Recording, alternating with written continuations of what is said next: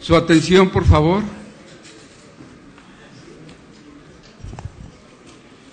La igualdad de género solo se alcanzará si somos capaces de empoderar a las mujeres.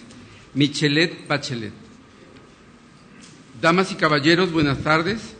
Sean bienvenidos al tercer día de la Semana del Derecho Electoral que organiza el Centro de Capacitación Judicial Electoral del Tribunal Electoral del Poder Judicial de la Federación y el Instituto Electoral Veracruzano a través de la Comisión Especial para la Promoción de la Cultura Democrática. Y para hablar de estos temas, permítame presentar a nuestro conferencista, Adín Antonio de León Galvez, presidente de la Sala Regional Jalapa del Tribunal Electoral del Poder Judicial de la Federación, quien nos hablará de candidaturas independientes y paridad de género. Fuerte el aplauso para nuestro distinguido ponente.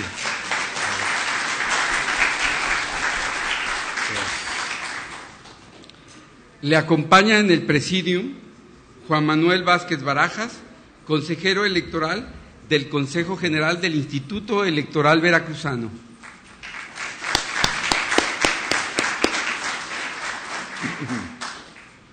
En el auditorio nos distinguen con su presencia los consejeros electorales Eva Barriento Cepeda,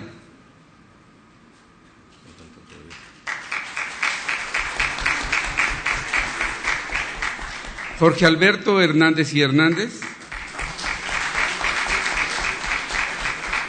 Iván Tenorio Hernández. Y Julia Hernández García.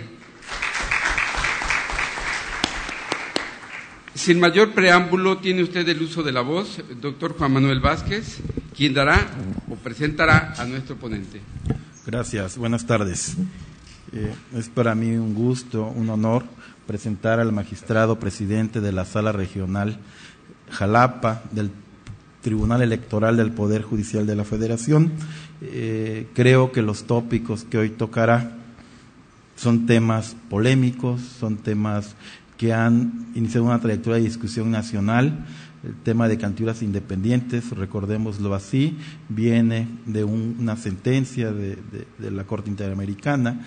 El otro tema, paridad de género, con con el nacimiento de la cuota en 2002, con su reforzamiento en el año 2008 y con la paridad plena en 2014, implican y significan ahora todo un esquema que enfrentamos las autoridades electorales. En este sentido, para mí es un honor, magistrado, tenerlo en esta aula del organismo público local electoral del Estado de Veracruz. Eh, estimados eh, público, compañeros del Instituto, de los tribunales electorales federal y local. Eh, permítanme presentarles al magistrado Adín Antonio de León Galvez. Él es licenciado en Derecho por la Universidad Nacional Autónoma de México, eh, institución en la cual se ha desempeñado como catedrático en la Facultad de Derecho desde el año 2000, donde imparte las materias de Derecho Electoral y Práctica Forense de Amparo. También ha participado como expositor de diversos temas relacionados con la materia político-electoral en maestrías, diplomados y múltiples cursos de capacitación dirigidos a funcionarios y autoridades electorales, tanto federales como locales, representantes de partidos políticos, estudiantes y público en general, tanto en nuestro país como en diversos países de Latinoamérica. Eh, el magistrado de León Galvez, también es coautor de los libros de estudio teórico práctico del sistema de medios de impugnación en materia electoral, apuntes de derecho electoral y sistema de justicia electoral mexicano, así como de diversas monografías publicadas por el propio Tribunal Electoral. Ingresó al entonces Tribunal Federal Electoral en el año de 1994, en donde desempeñó, entre otros cargos, el de jefe de unidad de capacitación. En el actual Tribunal Electoral del Poder Judicial de la Federación, a partir de 1996, ha ocupado los cargos de coordinador académico del Centro de Capacitación Judicial Electoral y secretario instructor en las ponencias de los magistrados José Luis de la Pesa Muñozcano y José Alejandro Luna Ramos a partir del 28 de febrero de 2013, la Cámara de Senadores de nuestro Congreso de la Unión, a propuesta de la Suprema Corte de Justicia de la Nación, lo eligió magistrado, magistrado electoral de la Sala Regional del Tribunal Electoral. correspondiente a la tercera circunscripción con sede en Jalapa. Eh, finalmente, el 8 de marzo siguiente fue nombrado presidente de nuestra sala regional, de la cual tiene competencia territorial en nuestro estado. Sin más preámbulo, magistrado presidente, sea usted bienvenido. Muchísimas gracias, maestro Juan Manuel. Qué honor estar aquí compartiendo este presidio en esta mesa eh, contigo, este consejero. Es un privilegio también gozar con la distinguida presencia de nuestros amigos consejeros del Instituto Electoral Veracruzano. Muchísimas gracias por, por distinguirnos con, con, esta, con esta presencia de ustedes. Yo soy un convencido que compartimos la misma vocación por la democracia. Lo único que nos divide y nos, hace diferentes es el marco de aplicación de las normas y de las, y de las este, del ámbito de, de, donde nosotros nos desenvolvemos, pero a final de cuentas la vocación y el compromiso por la democracia la tenemos y la compartimos y desde luego es para mí en lo personal un privilegio estar aquí conociéndolos, estando en las instalaciones y desde luego deseándoles el mejor de los éxitos frente a este, a este proceso electoral que, que tienen enfrente. Quiero disculparme con todos ustedes porque Tuvimos una sesión pública en donde resolvimos varios asuntos del Estado de Tabasco eh, y eso nos provocó una demora a partir de, dos, este, sobre todo dos asuntos, uno en donde procedimos a decretar la nulidad de la votación, de la elección, perdón, de, un diputado local y otro en donde hubo también la, la, determinación de revocar una nulidad de elección en Tabasco Centro, en Villahermosa, y desde luego esto nos generó un debate muy interesante con mis compañeros, ya, ya los conocen, ya, ya vieron que tanto Octavio Ramos como Juan Manuel son profesionales de la materia, son grandes conversadores y, sobre todo expertos en la materia y es difícil convencerlos en los asuntos. Entonces, al final de cuentas fue un debate muy rico, muy interesante, pero lamentablemente no me, hizo, no, no fue posible cumplir en tiempo y forma con el compromiso con ustedes. Sin embargo, aquí estaremos, aquí estoy y como decía Chente Fernández, mientras el público no deje de aplaudir, en este caso no dejen de preguntar, yo no me voy, ¿no? Entonces estoy aquí a su total disposición.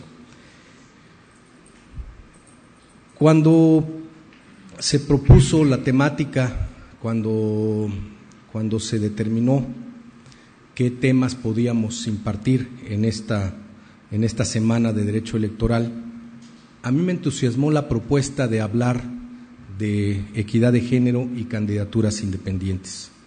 Y lo que pretendo en estos minutos, en este espacio, es hacer un recuento de cómo a la luz de la evolución del sistema electoral mexicano en nuestro país, cómo ha adoptado y ha cobrado carta de naturalización dos figuras tan necesarias y tan importantes como el tema de las acciones afirmativas y el tema de las candidaturas independientes. Pero no podríamos entender estas temáticas, estos avances, sin hacer una referencia, un vistar un vistazo muy rápido a lo que ha sido la evolución de nuestro país. Esto para podernos dar cuenta de la trascendencia y la importancia de estas acciones y de estas figuras de las cuales estamos reservando hoy en día espacios, momentos, tiempo, tratados, eh, jurisprudencias y una serie de, normas y una serie de, aspectos relacionados con el derecho para darles sentido y darles una profundidad en su estudio. Yo quisiera que nos refiriéramos y que nos, nos, este, nos situáramos en la década de los años 70 en donde pues veníamos de un conflicto como el movimiento del 68, en donde se hablaba de una de un, en los años al principio de los años de los años 70 pues se hablaba de las guerrillas de, de una parte muy importante del sur del país en donde no precisamente se encontraban debidamente contentos o no están contentos con las circunstancias imperantes en, en la sociedad. Y bueno había la necesidad tuvieron tomaron la necesidad de constituirse en una liga que cuestionara las acciones gubernamentales.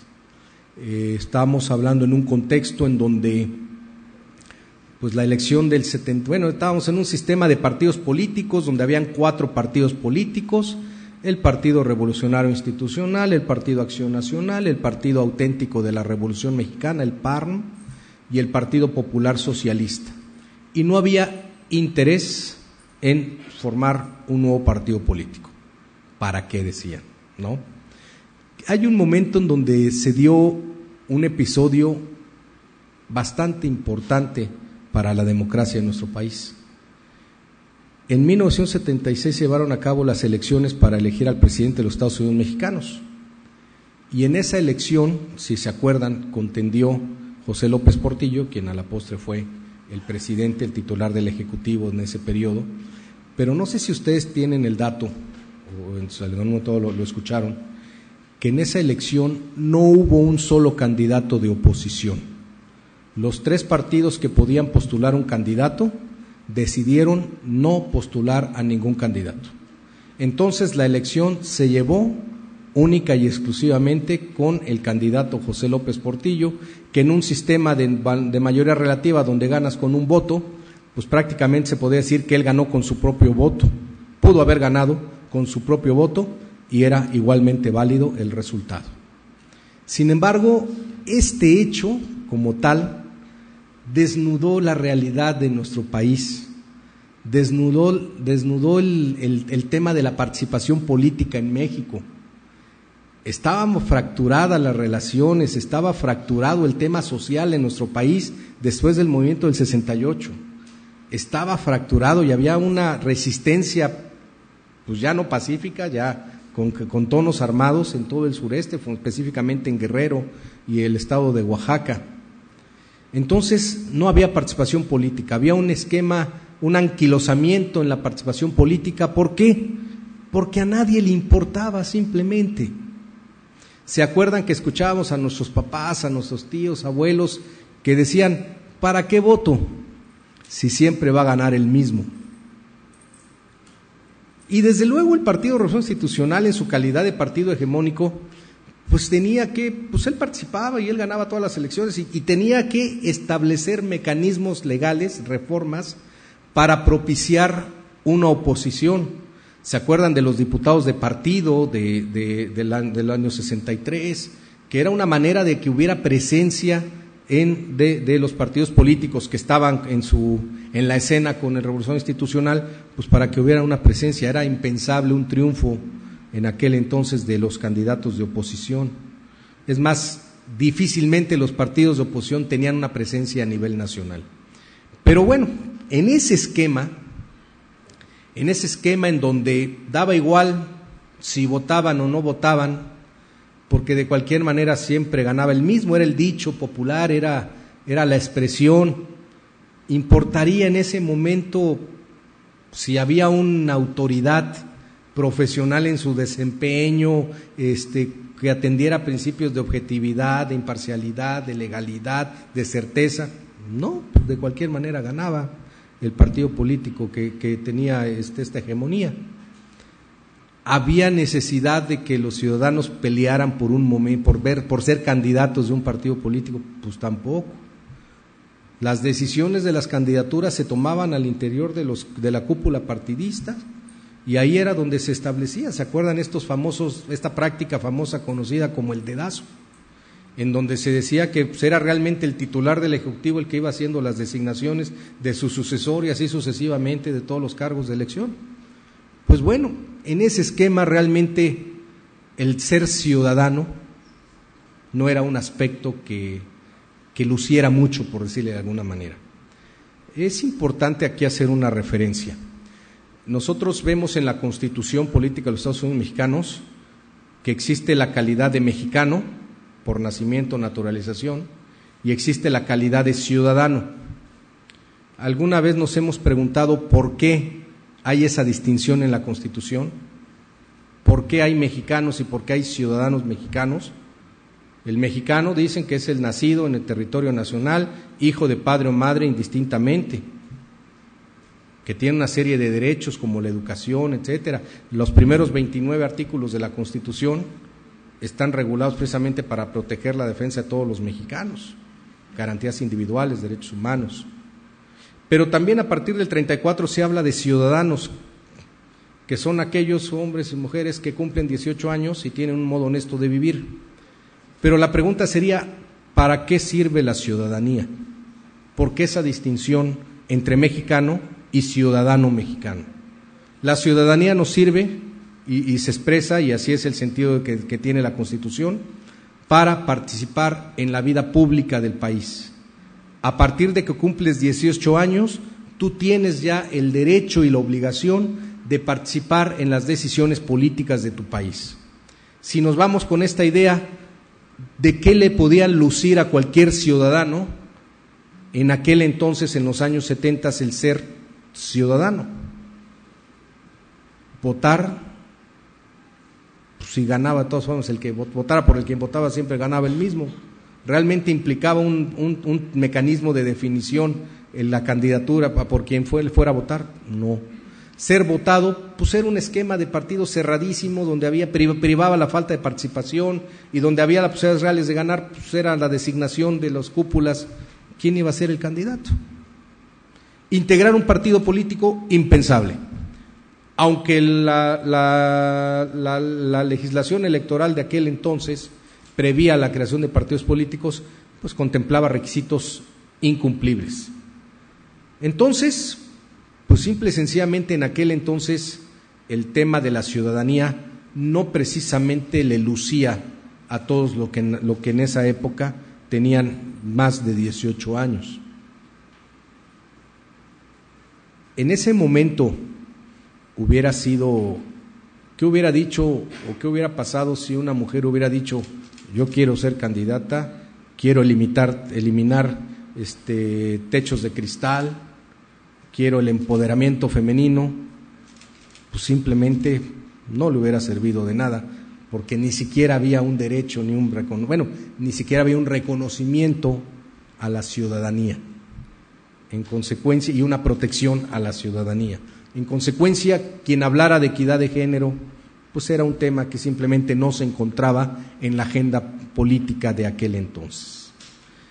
Se da la elección del 76 y se desenmascara esta realidad, se, desnuda esta realidad del país que vivía en ese momento.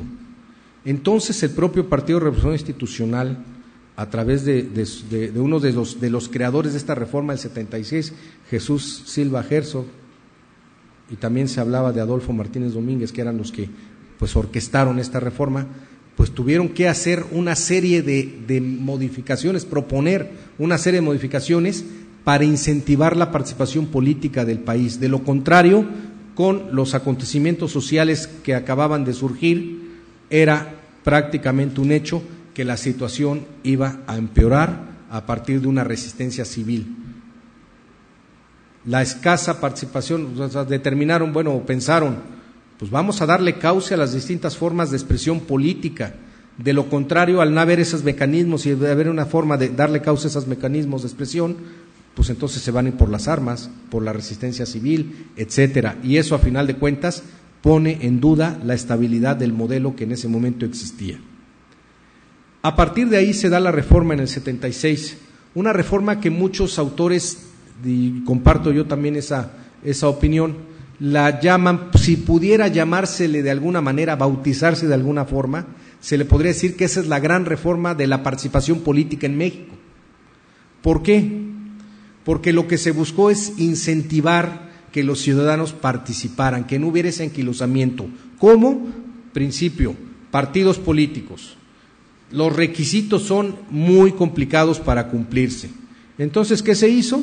Se estableció en la legislación, que era la famosa LOPE, se estableció un registro condicional, se, suavizaron, digámoslo así, los requisitos, se hicieron más, cumplibles, de alguna manera, o, más fáciles de poder cumplir.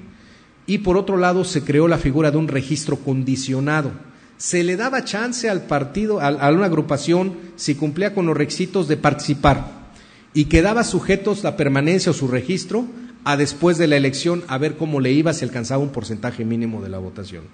Eso permitía abrir el esquema de contendientes, abrir el esquema de, este, de sujetos de partidos políticos para que hubiera una mayor participación política. Por otro lado, se, se crearon las agrupaciones políticas nacionales. Y las agrupaciones políticas nacionales, como hoy en día también funcionan, esa fue la preclusión de las actuales figuras este, de agrupaciones políticas nacionales, ¿qué tenían como finalidad? Pues eran figuras embrionarias de un partido político. Si no podías formar un partido político, no lograr un registro condicionado, tenías la posibilidad de irte por la vía de una, de una agrupación política. Y eso te daba la posibilidad también de darle cauce a tus inquietudes, a tus, tus formas de pensar, etcétera. Esa reforma fue importante porque empezó a abrir la posibilidad fundamentalmente a grupos de oposición para darle cauce, o, de izquierda, mejor dicho, en aquel entonces, para darle cauce a una participación. Surgen movimientos de izquierda muy importantes, existía ya el Partido Comunista en aquel entonces, y a raíz de esta, que el Partido Comunista, entiendo, nunca obtuvo su registro como tal simplemente era una agrupación. Pero a partir de estas ideas y de esta manera de darle cauce, surgieron movimientos como el PRT, como el PSUM, etcétera, que vienen precisamente a configurar la escena política con representantes de izquierda, con una opción de izquierda. De ahí me voy a dar un salto a las elecciones del 88, no sin antes dar, recordar que en el 86 hubo una fractura, perdón, del sí, en el 86 hubo una fractura al interior del Partido Revolucionario Institucional Dos figuras emblemáticas de ese partido, Porfirio Muñoz Medio y Cuauhtémoc Cárdenas, deciden crear una corriente renovadora y cuya, cuya final de cuentas el desenlace de esta realidad fue la, la salida del Partido Revolucionario Institucional y la creación de un frente democrático a nivel nacional. Esto provocó que para las elecciones del 88 la figura de Cuauhtémoc Cárdenas fuera el candidato eh, adoptado por todas las fuerzas políticas como candidato para contender en la elección presidencial. Todos sabemos cuál fue el desenlace de la elección del 88. Cerrada la elección, eh, la duda de que si realmente se cayó o no se cayó el sistema, eh, los resultados dudosos, la participación amplia y sobre todo el margen tan cerrado entre el primero y segundo lugar de la elección qué es importante destacar esto? Porque a partir de esta elección del 88, si bien en el 76 se desnudó la realidad política en nuestro país y fue necesario hacer una gran, gran reforma que provocara la participación política, 1988 nos da un escenario completamente diferente a nivel político. ¿Por qué? Porque por primera vez un candidato de la oposición tiene posibilidades reales de ganar una elección, que era Cuauhtémoc Cárdenas. ¿Y eso qué provoca? Que aquel que, se, que es derrotado en una elección con un número muy importante de votos, ya no se va a conformar tan fácilmente con los veredictos oficiales. Ya no va a aceptar tan fácilmente lo, la decisión de los distintos órganos de la autoridad electoral, etcétera. Ahí es donde precisamente se da, se simbra la estructura electoral en nuestro país se da un terremoto estructural y obliga la situación, obliga la diferencia, obliga que un número muy importante de ciudadanos apoyó al, partido de oposición y esa fue una presión fundamental para que hubieran reformas muy importantes en, en, los años 90 y 91. De hecho, no sé si recuerdan, hay un documento que vale la pena para estos efectos, ilustra mucho lo que estoy comentando, es el discurso de toma de posesión del presidente Carlos Salinas de Gortari en ese discurso se compromete a una reforma electoral trascendental, importante. ¿Por qué era la necesidad de establecer esta reforma? Déjenme, se los explico en condiciones de fútbol. Y con todo respeto a las selecciones o a los equipos, este, si se va a enfrentar un equipo como la, o una selección como la de Brasil, y con todo respeto con la selección de Haití, pues sabemos que el marcador pues va a ser un marcador abultado y que desde luego va a ganar la selección brasileña. Es un hecho, hay un poderío importante de, de uno de los equipos. Ahí importará en ese partido, importará el tamaño de la cancha, importará el tamaño de las porterías, si una es más grande que otra, importará quién es el árbitro, importarán las reglas. Pues pareciera que no, porque a final de cuentas uno de los dos contendientes tiene el poder suficiente para ganar el partido sin problema alguno. Pero ¿qué pasa si Brasil se enfrenta a Alemania, a Inglaterra, a Argentina o a México? Ah, ¿verdad? Los agarré dormidos, por eso no reaccionaron tan rápido. Pero bueno, ¿qué pasaría si se enfrenta a uno de esos equipos poderosísimos? Ahí sí importa el tamaño de la cancha, ahí sí importa el balón que tenga las libras suficientes, si el pasto está bien o mal cortado, si las porterías tienen un tamaño adecuado, quién es el árbitro, si hay reglas. ¿Por qué, señores? Porque ambos contendientes tienen posibilidades reales de ganar y cualquier decisión o cualquier factor en ese sentido puede provocar un cambio. Y ese es precisamente lo que generó la elección del 88. A partir de que un contendiente de oposición a la presidencia de los Estados Unidos mexicanos tiene esas posibilidades reales de ganar, ya no, es, no era tan fácil, pone en duda la manera como se organizaban las elecciones en aquel entonces. Y la gran reforma que se, que se gestó en ese discurso toma de posesión del presidente Salinas de Gortari que acuérdense que el presidente Salinas llegó en condiciones de legitimidad bajísimas y no hay que olvidar que las elecciones son fuente de legitimación. En consecuencia, si puedes llegar en condiciones muy bajas y eso como gobernante, ¿qué te genera? Falta de gobernabilidad. O a la inversa, si llegas en condiciones muy altas de legitimidad, sabes que tus decisiones, tus políticas públicas por lo pronto van a ser cumplidas. Ya después tendrán que ser eficaces, de lo contrario vas para abajo y si no hay que preguntar a otro presidente, ¿no? Pero bueno, a final de cuentas, eso fue lo que provocó precisamente esta elección del 88 y procedió una reforma importante. Si le podemos poner un título o podemos bautizar esta reforma, podríamos decir que la reforma del 90-91 que crea el Código Federal de Instituciones y Procesos Electorales, diversas modificaciones a la Constitución previamente, la creación del Tribunal Federal Electoral, un sistema de medios de impugnación y diversas figuras como el registro, el, Instituto Federal Electoral, como el Registro Federal de Electores, eh, el elevar a rango constitucional la función eh, electoral de organizar las elecciones y dejarla en una corresponsabilidad de partidos, autoridades y partidos, y ciudadanos, el establecimiento de principios rectores que rijan la función electoral, pues esto ¿qué genera? Pues genera una gran reforma en materia de organización de las elecciones.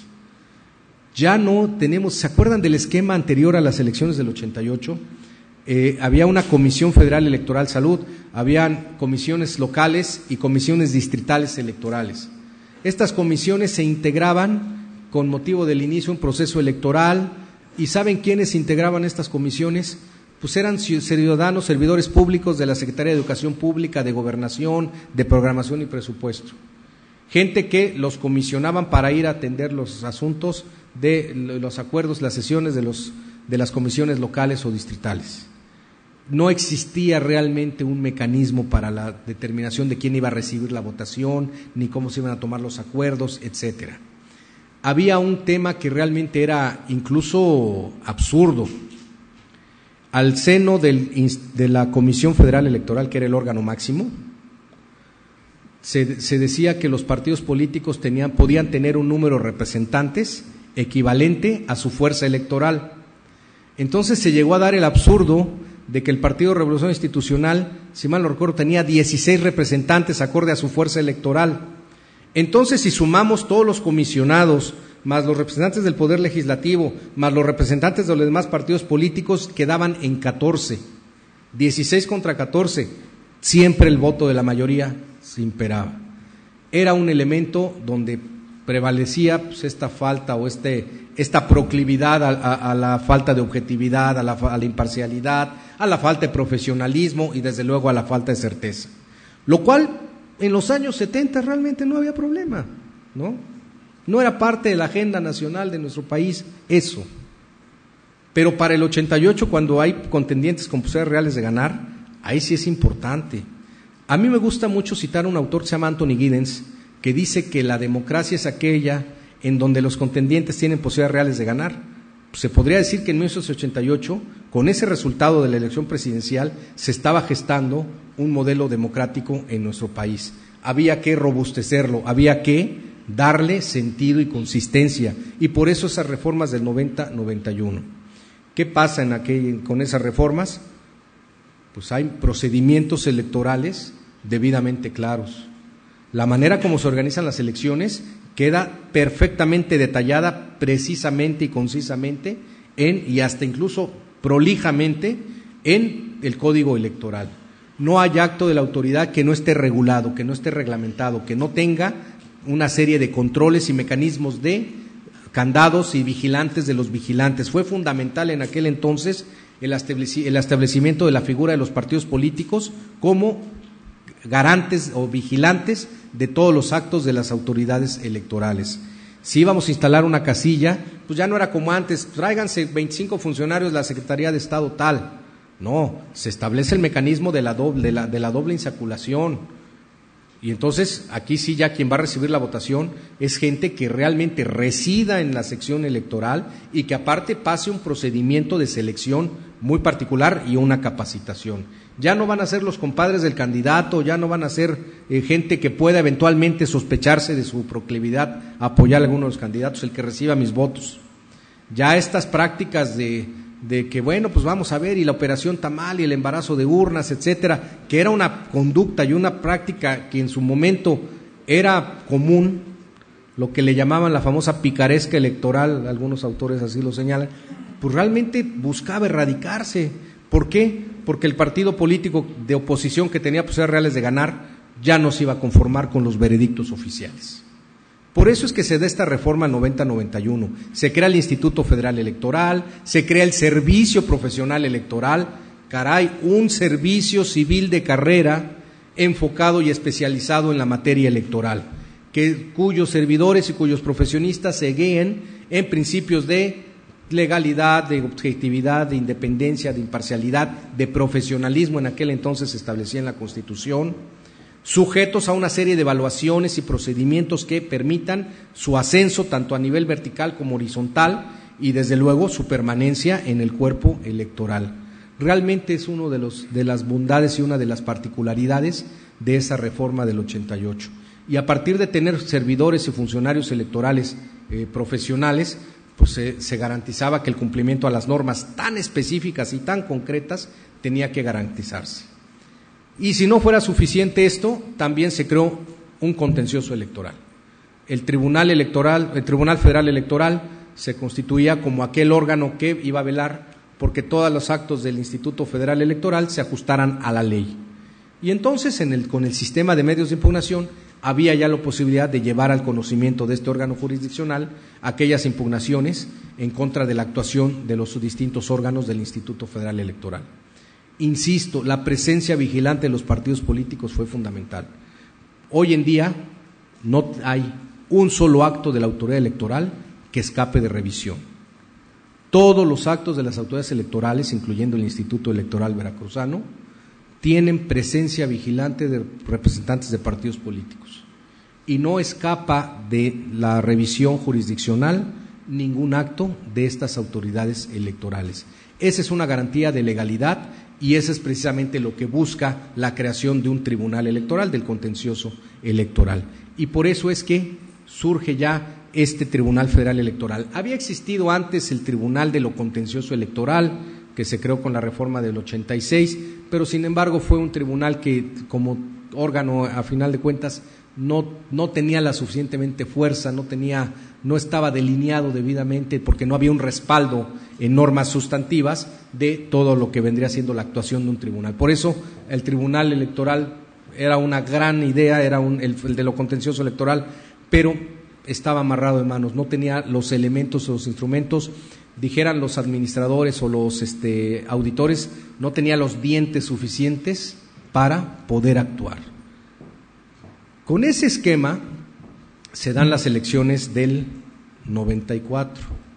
Previamente se desaparecen los colegios electorales con las reformas del 2003, de 93. ya la calificación de los diputados y senadores ya dejan de ser políticas, sino ya se pasa al tribunal, al instituto y al tribunal como está hoy en día establecido. Pero a lo que quiero llegar, para ya irme acercando al tema, para decir, bueno, y el magistrado nunca nos ha hablado de género ni de, ni de candidaturas independientes, pero para mí se me hace muy importante llegar a esto, porque es una diferencia que quiero en su momento compartir con ustedes. Para las elecciones del 94, imagínense ustedes el escenario era la primera vez que se iba a aprobar el modelo de organización de las elecciones en nuestro país. Era la primera vez en donde con nuevas reglas, con nueva cancha, con nuevo árbitro, con nuevo balón y con nuevas circunstancias, se iban a volver a medir el Partido eh, Revolucionario Institucional y la oposición. Era una oportunidad precisamente para que nuevamente volvieran a medir fuerzas seis años después los contendientes de esas elecciones. Había un tema social importante, el alzamiento del Ejército Zapatista de Liberación Nacional, la muerte de Luis Donaldo Conocio, o sea, son elementos que terminan aderezando la, la escena política nacional de aquel entonces. ¿Saben quién se quiso perder esa elección? Nadie. Todo mundo quería votar, todo mundo quería participar. ¿Y qué pasó? El Registro Federal de Electores en aquel entonces pues tuvo un pequeño problema en cuanto a la expedición de credenciales para votar con fotografía. ¿Se acuerdan que el registro de electores se empezó con una técnica parcial total, censal, perdón, total, iban casa por casa y en un, en un padrón que se armó en un principio de buena fe? A ver, ¿y aquí cuántas personas viven y cuántos ciudadanos y qué fechas de nacimiento? A ver, tiene un acta, préstemela, etcétera, etcétera, etcétera. Y así se formó el registro federal de electores. Para 94, si se creó en 91 para 94, realmente estaba en ciernes todavía, estaba en formación. Pero ¿qué pasó? Muchos ciudadanos quisieron participar. Entonces llegó el caso de que a los ciudadanos a los que no se les dio oportunamente una credencial para votar con fotografía, fueron al Tribunal Federal Electoral a decir, oigan, yo ya hice mis trámites y no me quieren dar mi credencial. O ya me la dieron, pero no estoy en la lista nominal de electores. Y en ese momento, el Tribunal Federal Electoral, yo estaba en sala central en aquel entonces, decía, bueno, a ver, ¿y ahora qué hacemos? Porque tenemos un juicio de inconformidad contra resultados electorales, tenemos un recurso a apelación contra actos de los consejos, pero pues aquí a los ciudadanos a los que se les niega la credencial no tenemos nada, ningún mecanismo para, una vía legalmente prevista no existe para darle causa a su petición de, de credencial de elector.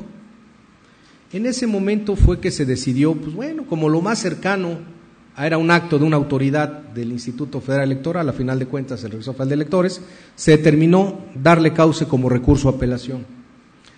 Llegaron 10, 20, todos estábamos contentos, ya teníamos nuestro recurso a apelación de ciudadano, llegaron 100, se le hizo pastel al, al, número 100, expediente número 100, llegaron 1000, 2000, 3000, 5000, 12000 y entonces ahí sí ya era preocupante a nivel sala central. Al resto de las salas regionales también empezaron a llegar asuntos. El saldo es que fueron casi 80 mil impugnaciones de ciudadanos las que se presentaron y todos ellos pidiendo la expedición de una credencial para votar con fotografía. En su momento se tomó la decisión de que ya técnicamente no era posible generar la credencial, como hoy, en día se estableció y subsiste esta decisión, y bueno, pues los puntos resolutivos de la sentencia hacían las veces de credencial o de listado nominal de electores.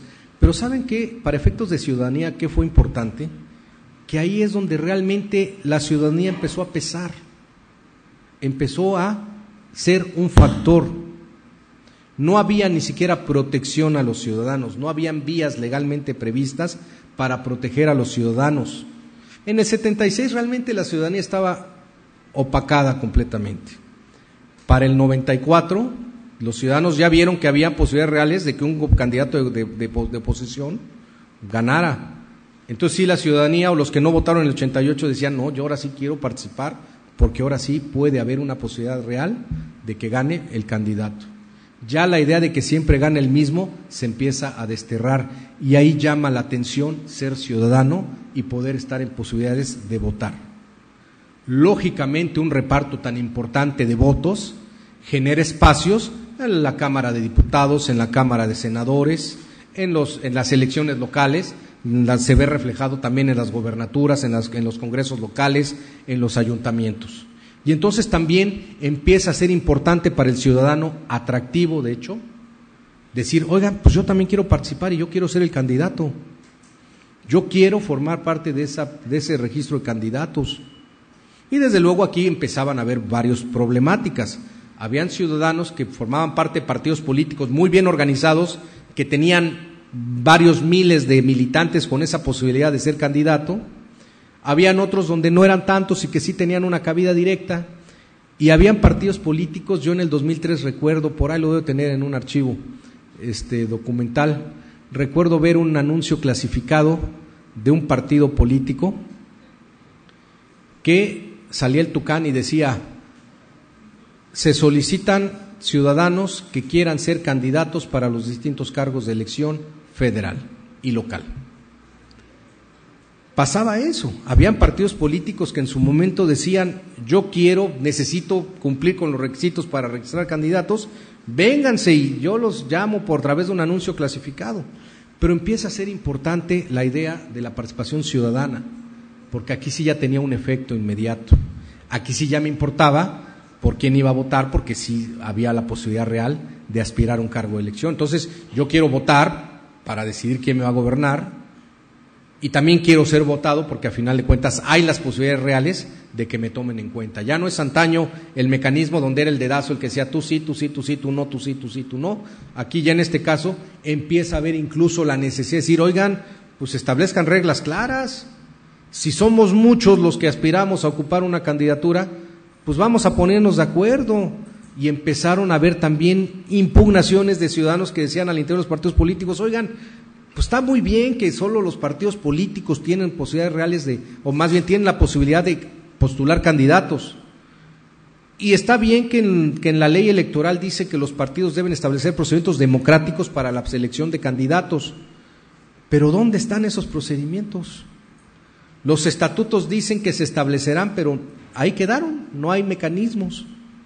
Y entonces empezamos a tener impugnaciones también de ciudadanos que decían, oigan, y la democracia al interior de los partidos políticos, ¿para cuándo?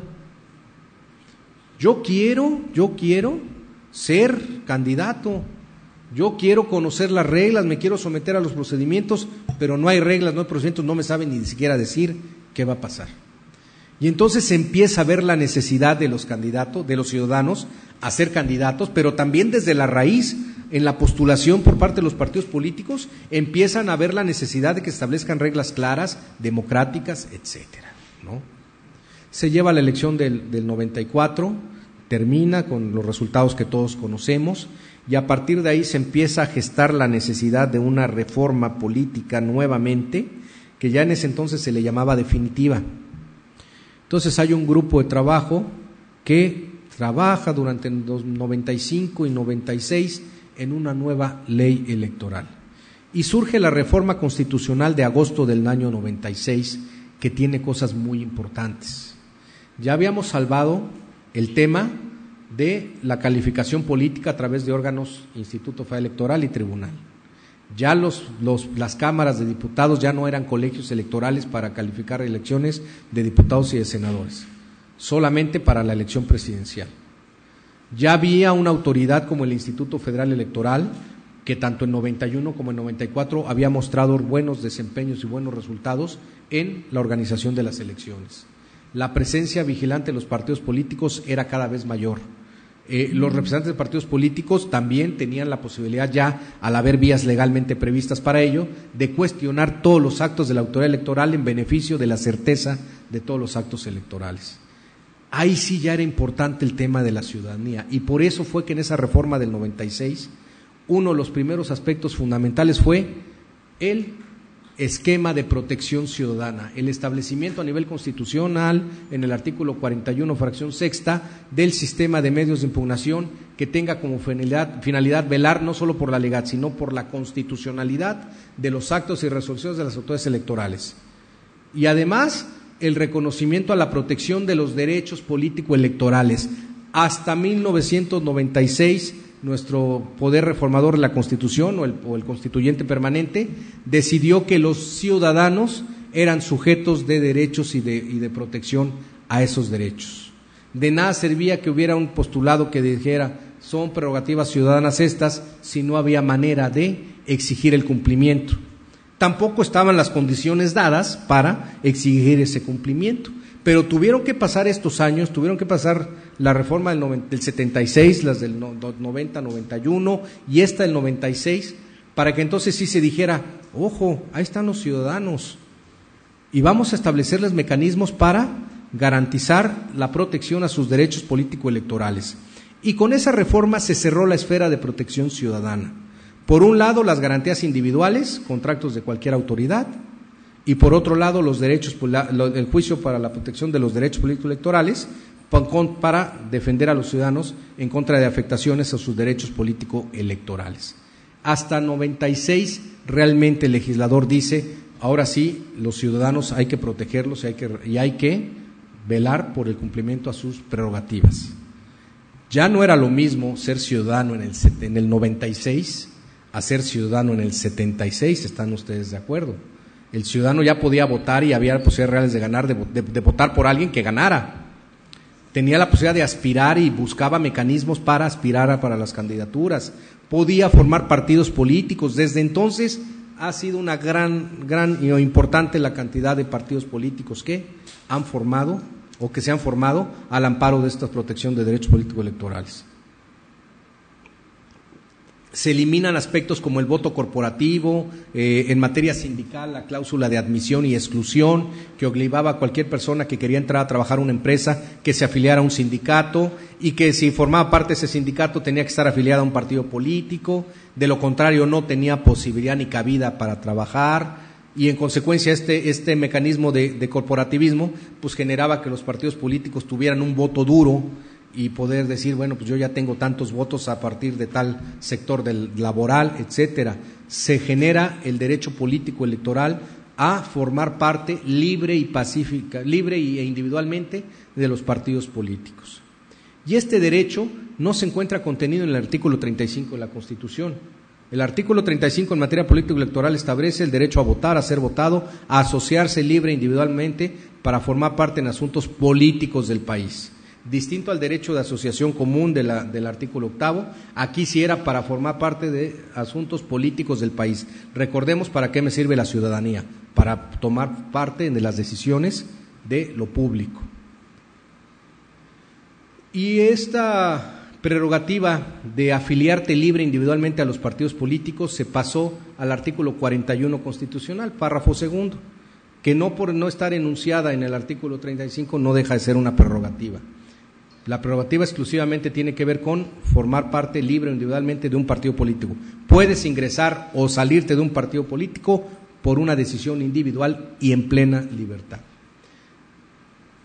A partir de ahí, y al, ver que hay un mecanismo de protección de estos derechos políticos electorales, empieza a cambiar la situación y la circunstancia de los ciudadanos.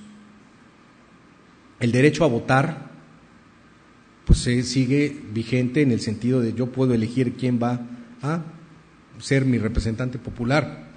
Y nada más hay que cumplir con los mecanismos de contar con los instrumentos electorales, con la credencial para votar fotografía y con eh, estar tu nombre en el listado nominal de electores, que desde luego previamente la inscripción o la incorporación a un catálogo general de electores.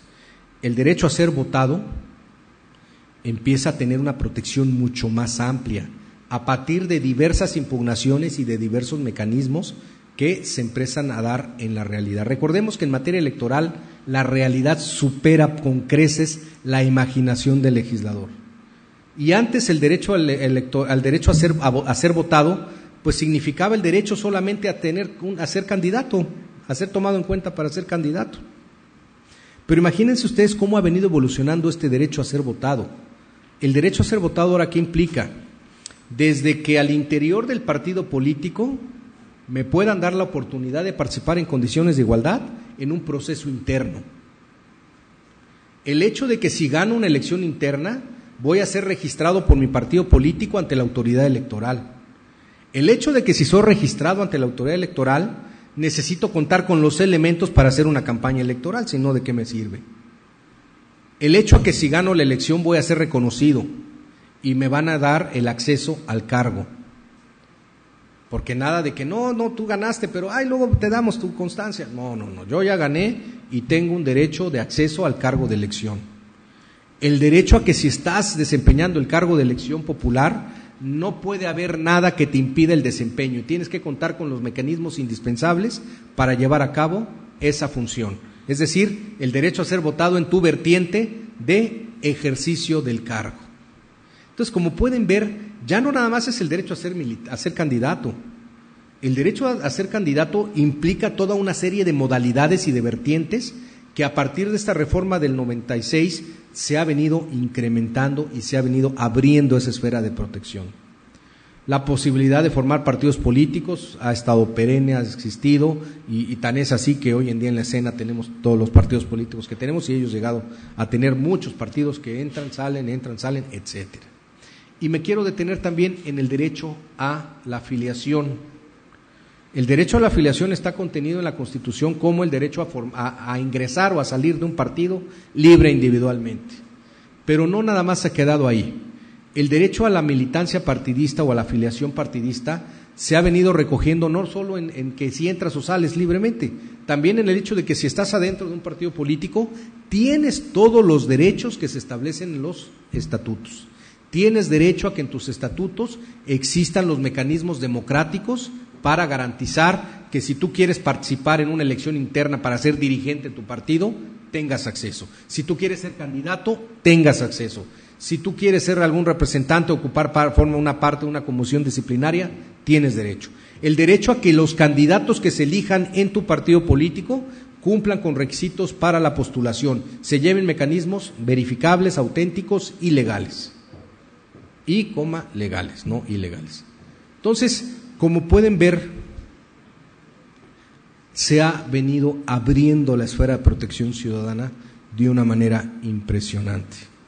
Insisto, hoy en día no es lo mismo ser ciudadano en el 2015 a ser ciudadano en el 76. Desde luego en el 76 lo dijimos, hablar de género, hablar de candidatos independientes, eran temas que simplemente impensables, ¿no?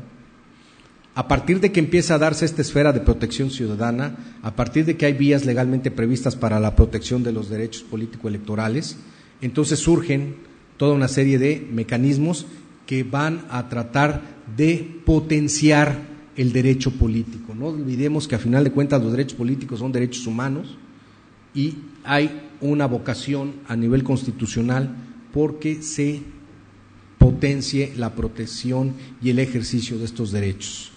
Quiero señalar que ahí es donde entra precisamente ya, después de una hora, el tema de género. No podemos entender un tema de género en su evolución si no tomamos en cuenta cómo ha venido avanzando el concepto de ciudadanía.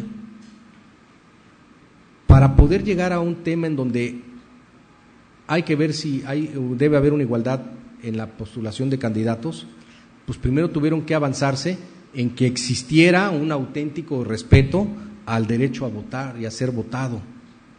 Eh, el, hablar de una posibilidad de que ya no solo a, través de los partidos políticos puedas buscar una candidatura, sino que se generen los mecanismos y todo el camino que conocemos que dio vida a las candidaturas independientes, pues tuvo que hacerse, pero no podemos hablar de una candidatura independiente cuando no haya un auténtico sistema de partidos o cuando no hay un auténtico respeto a la militancia o a la ciudadanía, a los derechos de los ciudadanos.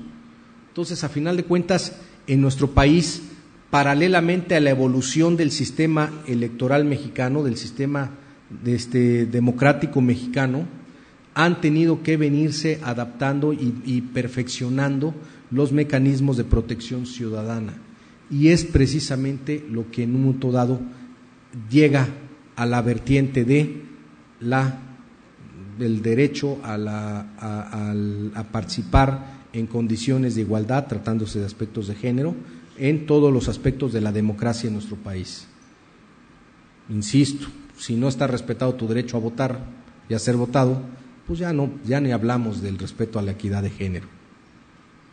Esa es a final de cuentas la conclusión y por qué hoy en día, o bueno, ya desde hace un buen rato estamos parados en el tema de estas acciones afirmativas. Sin esta evolución no podríamos hoy en día tener una acción afirmativa. Ahora bien, ¿qué empieza a pasar? Pues qué bien, qué padre que ya puede haber cada vez en más momentos y más posibilidades para que hayan candidatos de partidos de oposición. Qué bueno. Y qué bueno que ya se abrieron los mecanismos democráticos para la participación al interior de los partidos políticos y poder ser este, dirigente o poder ser candidato. Ah, pero ¿qué crees? Tenemos la problemática de que históricamente en nuestro país todos esos cargos han estado destinados a el género masculino. Y difícilmente por una cuestión cultural se ha podido de, manera natural dar esta posibilidad de participación igualitaria. Tuvieron que existir acciones afirmativas para precisamente eh, dar un tratamiento privilegiado a estos grupos de la población. Recordemos que una acción afirmativa es la designación de las medidas jurídicas y de hecho para dar un tratamiento privilegiado a ciertos grupos de la población con el objeto de superar desigualdades. Aquí es muy importante un tema. No es lo mismo o, aquí hay, hay, que tener claro de que de nada le sirve al género femenino que haya un artículo constitucional que diga que el hombre y la mujer son iguales ante la ley. Está muy bonito. Qué padre, qué gran avance a nivel constitucional lograr este, este artículo. Pero de nada le sirve a una mujer o al género femenino que esté este artículo en la Constitución si realmente no se cumple si realmente no se hace efectivo. Aquí tenemos dos conceptos que vale la pena tener en consideración cuando hablamos de este tema. El concepto de, de igualdad formal ante la ley y de igualdad material. Igualdad formal ante la ley, pues a final de cuentas es el hecho de que una norma reconozca que el hombre y la mujer van a ser iguales. Está muy bien, qué bueno que existe la norma, pero lo que realmente importa es que haya una igualdad material, es decir, que ese postulado legal realmente se cumpla. Y para ello es necesario, dado que son situaciones históricas, son situaciones donde hay un grupo que históricamente ha estado en desventaja frente a otro, pues aquí hay necesidad de establecer acciones afirmativas, que son mecanismos para equilibrar estas diferencias una acción afirmativa podría considerarse como una medida inequitativa para lograr equidad. A final de cuentas, eso es lo que, lo que se busca con las acciones afirmativas. Generar una inequidad aparente a partir de favorecer a un grupo que históricamente siempre ha estado en condiciones eh, este, sometidas, de sometimiento, para lograr una equidad. Y ahí es donde entramos precisamente a las temáticas que hoy en día nos, nos, nos, nos representa esta conferencia. De nada sirve que el postulado legal vaya a ese sentido si no se respeta. Y lo que ha pasado precisamente desde el año 2009-2010 a la fecha es que cada vez más han sido las mujeres que buscan que se haga efectiva la igualdad material ante la ley. De nada les ha servido que esté previsto en una norma si no se ha cumplido.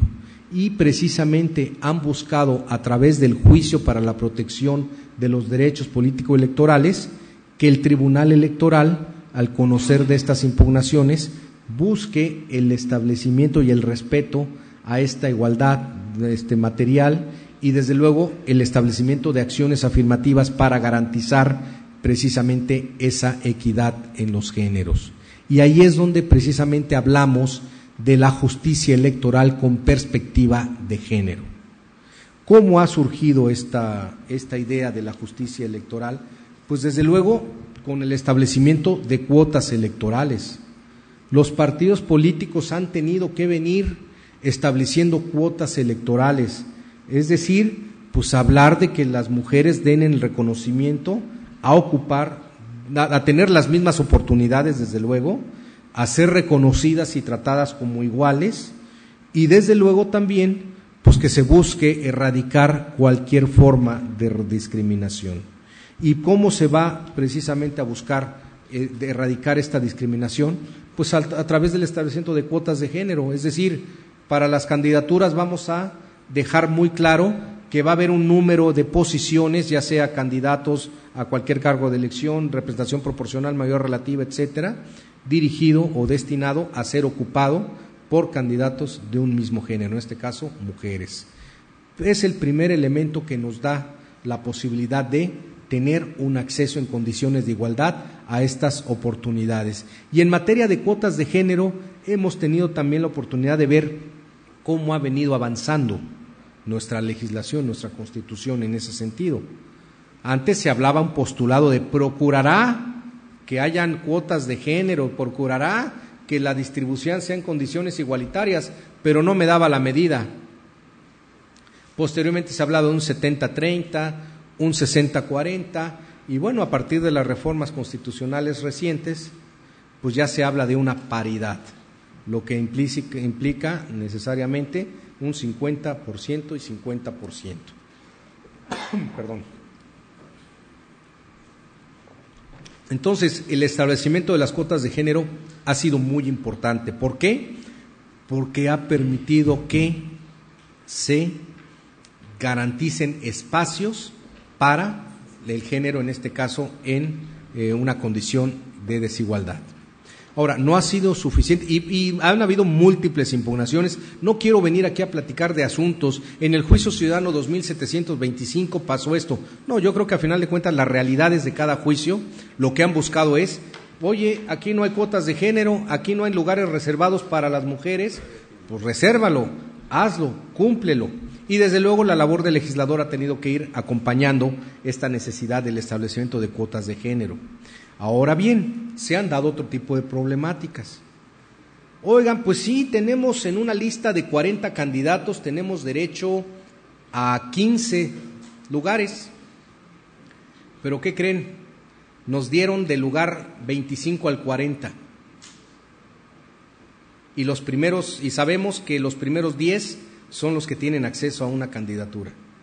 Entonces, está muy bien, está muy padre que ya nos reconozcan que ya tenemos una cuota de género, pero no me pongan hasta el final de la lista porque va a ser exactamente lo mismo. No hay una auténtica igualdad material ante la ley. Entonces, tuvieron que haber impugnaciones en donde se buscara hacer más eficaz este mecanismo de las cuotas de género. De nada sirve que pongas a un candidato a competir en mayoría relativa a una candidata y a un candidato, si al candidato hombre lo vas a poner en el distrito donde generalmente sabes que vas a ganar la elección, y a la candidata mujer la vas a poner en el distrito donde sabes que siempre pierdes la elección.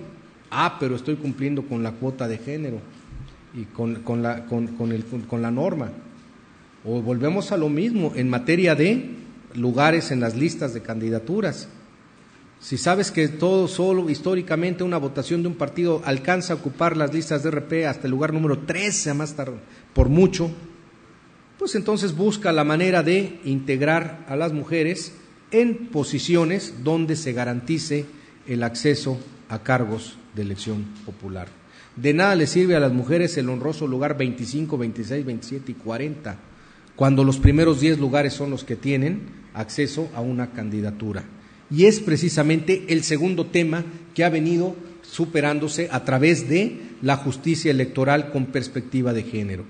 El hecho de que las ciudadanas dicen, qué bueno que ya tenemos una cuota de género, ahora lo que necesitamos es hacer efectivas esas cuotas de género y por lo tanto pónganme donde hay la posibilidad real de acceder a una candidatura. Y entonces ahí surgen los aspectos relacionados con la alternancia en el género.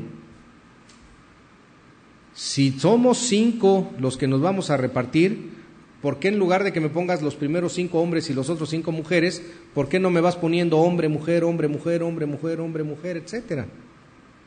Y ahí es donde ha venido avanzando a través de criterios relevantes del tribunal el aspecto ya no solo de la cuota de género, sino también el aspecto de la paridad en el género. La igualdad de oportunidades implica esa alternancia.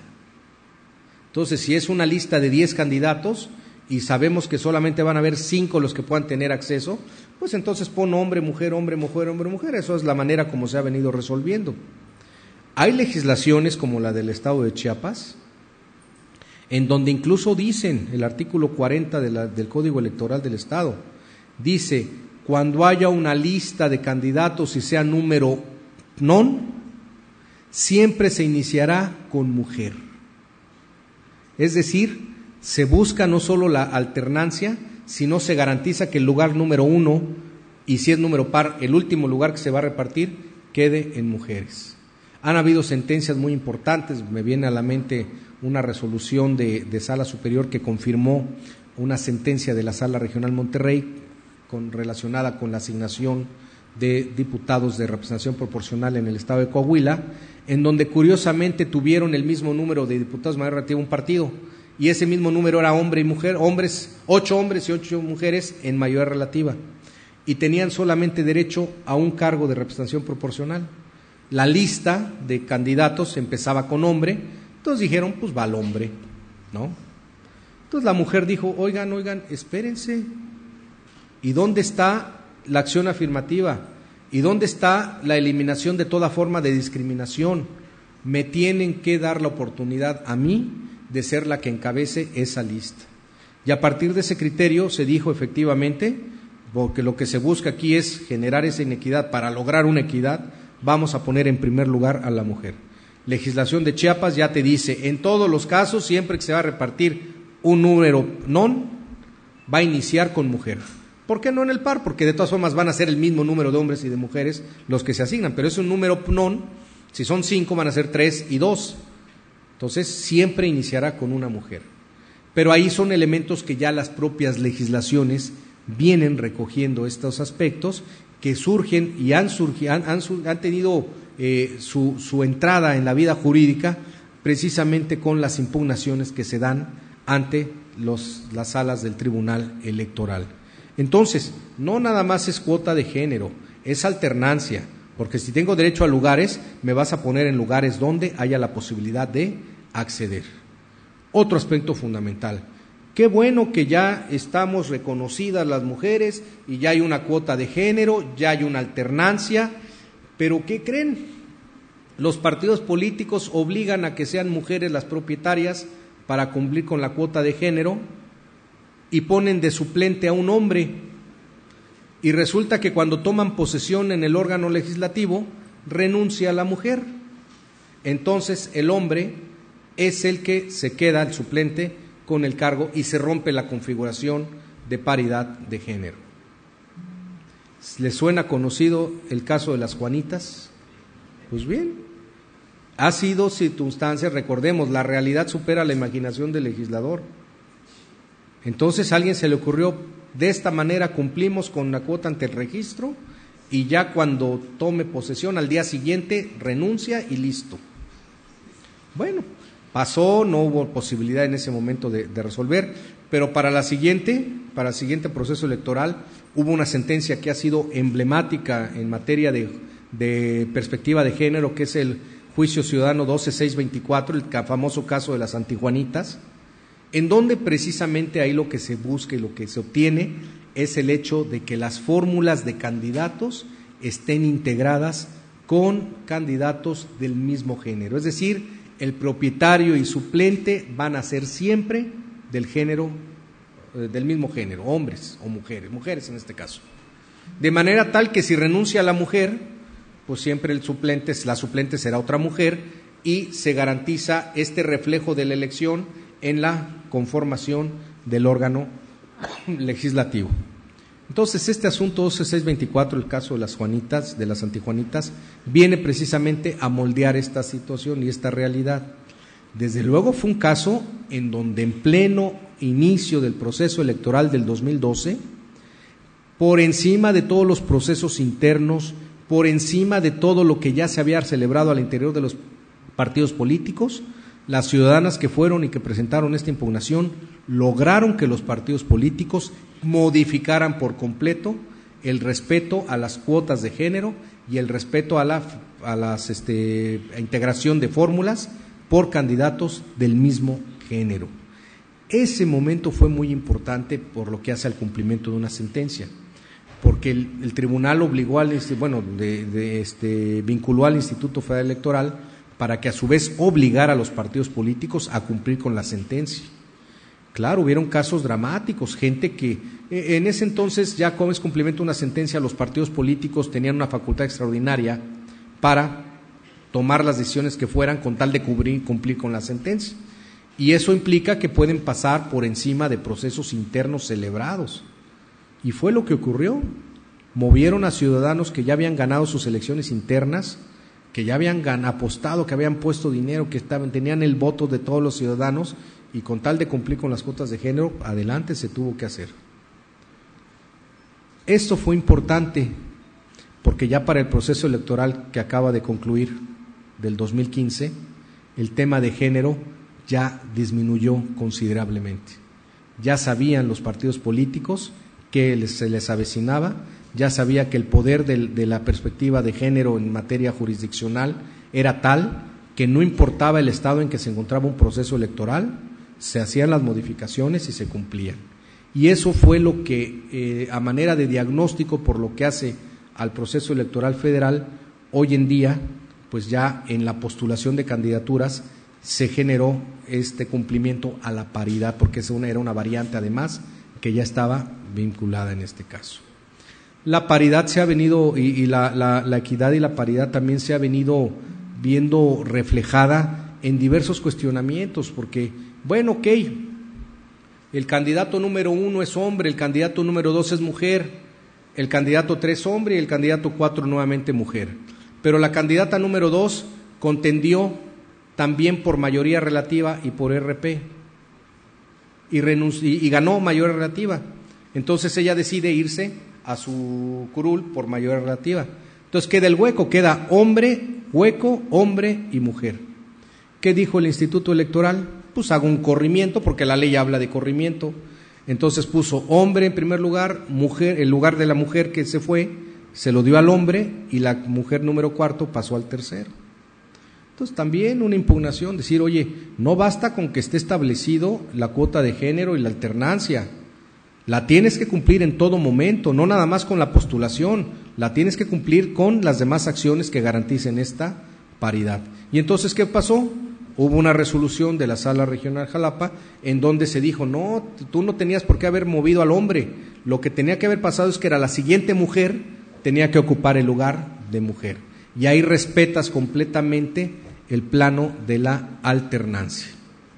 Ha sido tan importante el cumplimiento hoy en día al tema de género que no ha sido obstáculo el que no se encuentre previsto en una legislación. Eh, hay, hay, aspectos de eh, equidad, desde luego estos temas nos llevan a hablar, en tratándose de listas de una equidad vertical, hombre, mujer, hombre, mujer, mujer, hombre, mujer, hombre, etcétera. La equidad vertical en todo momento, si nada más es un cargo el que se va a asignar, siempre respeta o, favorece a una mujer, que es decir, el género que ha venido viéndose afectado. Pero también han habido planteamientos muy interesantes respecto a la famosa paridad horizontal. ¿Qué significa la paridad horizontal tratándose, por ejemplo, de elecciones de ayuntamientos? La vertical queda muy clara que son las listas, ¿no? Si empiezas con candidato a presidente municipal, hombre, sigue el síndico mujer, primer regidor hombre, segundo regidor mujer y así sucesivamente. Pero la vertical tiene que ver con el hecho de que si son 120 candidatos o 120 ayuntamientos y van a haber 120 planillas de un partido político, la paridad nos debe llevar a que las planillas estén encabezadas mitad y mitad hombres y mitad mujeres. Es decir, si son 120 planillas, 60 tienen que estar encabezadas por mujeres. Y a partir de la mujer que encabeza ya viene hombre, mujer, hombre, mujer. Y las otras 60, hombre, mujer, hombre, mujer. Esa es la famosa paridad horizontal. Legislaciones la han establecido, otras legislaciones no pero a final de cuentas no ha sido obstáculo para el Tribunal Electoral al hacer uso de la impartición de justicia electoral con perspectiva de género, no ha sido obstáculo el que una norma local no prevea estas circunstancias. ¿Por qué? Porque a partir de una interpretación sistemática y funcional del artículo primero de la Constitución, del artículo 41, del artículo 116, 115, nos lleva a la conclusión de que el legislador ordenó que las candidaturas fueran en condiciones de paridad. Y paridad es completo, tanto este, vertical como horizontal. Y eso con apoyo de diversos tratados, de, tratados internacionales, del derecho convencional, pues ha venido a robustecer precisamente la idea de que aunque no esté prevista en una legislación, se debe de cumplir. Tenemos nosotros en Sala Jalapa el caso de las, de la, del registro de candidaturas en el estado de Tabasco, en donde aunque el Instituto Electoral determinó no cumplir ni obligar a los partidos al respeto a las cuotas de, a la cuota horizontal de género, y dijo, no, simplemente no voy a cumplir porque la ley no me lo obliga. Bueno, no obstante ello, ante una impugnación, la sala regional y posteriormente fue confirmada por sala superior, determinó que sí había obligación del instituto el exigir este respeto a la paridad vertical, horizontal, perdón. No obstante que no estuviera prevista en la legislación. Y hoy en día es una jurisprudencia del Tribunal Electoral de la Sala Superior el hecho de que tiene que respetarse en todo momento el tema de la paridad, horizontal o vertical. Ahí hemos venido avanzando. Hasta ahí es donde hoy en día se ha visto el reflejo de estas normas. Desde luego, como todo, implica no solamente el establecimiento de normas que hagan efectivas esta, igualdad, esta paridad, también desde luego hay aspectos que tienen que ir permeando en la sociedad, en el sentido de, las, de, la, en el ánimo de quienes operan y actúan y, son operadores de la ley. Eh, esto se ha visto reflejado, por ejemplo, en integraciones de consejos, el respeto a ciertas reglas, de paridad. Eh, por ejemplo, en órganos jurisdiccionales, me viene a la mente un caso del Estado de Sonora, donde el tribunal se integra con tres magistrados y determinaron que cada dos años iba a haber una renovación de la presidencia. Entonces primero fue un hombre, después otro hombre, y venía la mujer, pero dijeron, no, va otro hombre. Entonces se dijo, no, espérate, si es un órgano con tres personas y hay periodos de seis años, es un periodo de seis años y son presidencias de dos años, la mujer magistrada tiene derecho en condiciones de igualdad a ese caso. El, señalamiento de, consejeros, pues se nombran a los consejeros propietarios y se nombra una lista de consejeros suplentes, pero ¿qué tal si se va una mujer propietaria y dice la ley hay que respetar el orden en que están los suplentes? Pero si se va mujer propietaria, necesariamente tienes que hacer uso de la mujer suplente para cubrir la vacante que se está generando. De lo contrario, rompes con la idea de la paridad. Y esos son criterios que han venido acuñando y formando este, este aspecto o este esquema de impartición de justicia electoral con perspectiva de género. Hoy en día, en los procesos electorales, en la etapa de registro de, elecciones internas priva el respeto a las normas de género tratándose de candidaturas al interior de los partidos políticos. En materia de registro de candidatos, se tiene que ver reflejado también el tema de género. Hay la obligación de las autoridades electorales de que si no, si advierten que no se cumple con, los, con las normas de género, puede requerir al partido, más bien tiene obligación de requerir al partido para que haga los ajustes necesarios. Y si no cumple con los ajustes, tiene la obligación la autoridad de no registrar a la planilla o a la lista de candidatos correspondiente. A tal nivel ha llegado la protección en materia de respeto a estas acciones afirmativas que incluso un partido político se puede quedar sin, sin candidatos por no cumplir con las normas de género aspectos de género han, llevado a, muchas reformas, a muchos criterios, y hoy en día pues, prácticamente son una realidad. Insisto, al interior de, elecciones eh, en un partido político para postular candidatos debe respetarse, en la postulación de, ya en el registro de candidaturas debe respetarse, al momento de eh, cumplir con las normas de género, eh, ya sea con el, ocurrimiento de una lista de RP, un, ejercicio de asignación de RP, deberá velarse, como lo marca la ley, a las normas de género.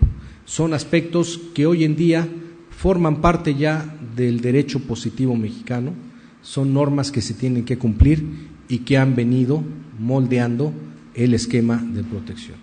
Hoy en día hay, eh, tenemos que el Congreso, de la, el Congreso de la Unión, en este caso la Cámara de Diputados, pues tiene un 41% de mujeres legisladoras. Esto sin duda alguna vino a ser un realce fundamental. En el caso de la tercera circunscripción, de 98, este, de 98 legisladores y legisladoras, 64 son hombres, 34 son mujeres.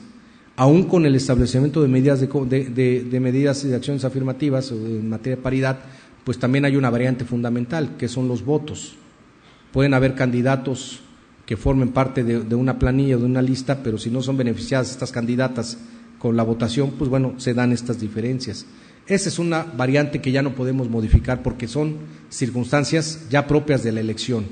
Pero lo que sí se garantiza es que en la postulación se cumplan estos parámetros que desde luego han venido ampliando la presencia femenina en el caso de las entidades federativas y de integración de órganos de representación proporcional. Esto es por lo que hace a la temática de, las, eh, de la equidad de género. Este, no sé si quieren, para que descansen ustedes un poquito, abrimos un espacio para preguntas y respuestas en materia de equidad de género. Este, sirve que descanso y descansan ustedes un ratito. No sé si hay algún cuestionamiento, alguna duda, alguna inquietud. Espero, allá atrás, este, atrás de la bardita hay un. Permítame, permítame, permítame. Hágame la buena, quisiera ser doctor, pero la magistratura no me ha dado oportunidad de hacerlo, pero bueno. Buenas tardes, magistrado. Este, nada más me quedó una duda. Eh, usted menciona que, bueno, en cuanto a la hace la integración de, los, de las cámaras, eh, la variable es el voto. Yo em, había entendido que sí se exige antes de esta reforma el 60-40 independientemente del género. Obviamente el 60% siempre resultaba, en este caso, en, hombres, ¿no? Pero establecía la excepción de que no se debía, no se, no se debía de cumplir esta exigencia de, esa, de ese porcentaje, que no paridad, cuando eh, los partidos hicieran procesos internos. Entonces, obviamente, pues ahí también influía lo que era la votación, en este caso de los militantes. Con esta paridad, ahora a partir de la reforma del 2014, aun cuando sean procesos internos, ¿están obligados los partidos a respetar el 50-50? Sí. Sí, porque de cualquier manera un convenio de coalición tiene que verificar que en el, que en el registro de las candidaturas se respeten los criterios de paridad. Y si y el convenio de coalición al interior de los partidos políticos sí pudiera haber un momento de donde pues sí la, norma partidista puede señalar sabes qué si yo este voy a coaligar y voy a unir fuerzas con otro partido para contender en esa elección sí hago a un lado todos los resultados de las elecciones internas incluso ya celebradas y ya habiendo ganadores. Esa es una facultad del partido. Es una digámoslo así viene siendo parte del derecho de autodeterminación del partido el dejar abandonar sus procesos internos con tal de una coalición. Ahora, lo que sí está obligado es que de conformidad con ya el registro de esa planilla de candidatos, ahí sí se tendrán que, del convenio de coalición, se tendrán que respetar las normas de género, para el efecto precisamente de que la, representación del, del, grupo de, como tal esté debidamente salvaguardada. Si al partido político le corresponden seis espacios, en su momento tendrá también que velar por ese respeto a la nueva género en la postulación. Ya el resultado Ya la cuestión de quién gane o no, pues ya son aspectos propios ya de las circunstancias. Ahí ya no necesariamente tiene que obligarse a que a forzosamente perdón, sean el igual número de legisladores y legisladoras, porque ya el voto ciudadano es el que puede hacer una diferencia. Entonces, esa es la, esa es la, la razón. Si el partido político abandona procesos internos, pero en la nueva configuración que él va a generar, tiene la obligación de respetar normas de género. ¿Algún otro comentario? Por favor, señor consejero, qué gusto. Bueno, mire, si gusta, tenemos aquí una, una petición.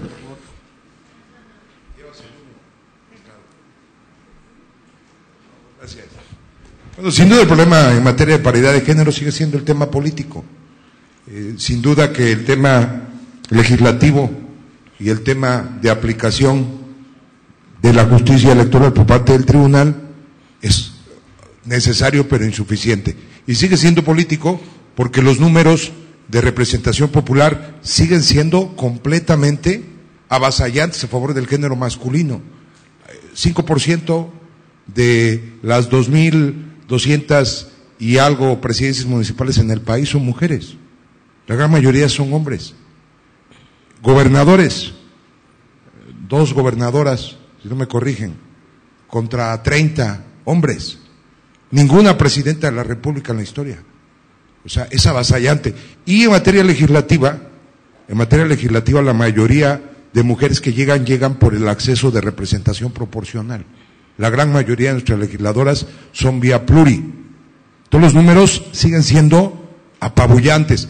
Pero también en ayuntamientos esta regulación horizontal de la que hablabas, magistrado, no ha resuelto el problema de la representación de regidoras, porque en muchos ayuntamientos veracruzanos solamente hay un espacio de representación proporcional y llega la primera, eh, este, la primera minoría que generalmente postula un hombre. Pero además en las legislaciones de avanzada se han dado no por motivos de convencimiento en los principios de la democracia y la justicia entre géneros, se ha dado por razones políticas hasta perversonas, como el caso de Sabines, donde tú mencionas la, como ejemplo, en buenos términos, Chiapas, pero conociendo el origen de esa reforma, se debe a una decisión política de Sabines de romperle eh, eh, la figura a los, a los opositores reales.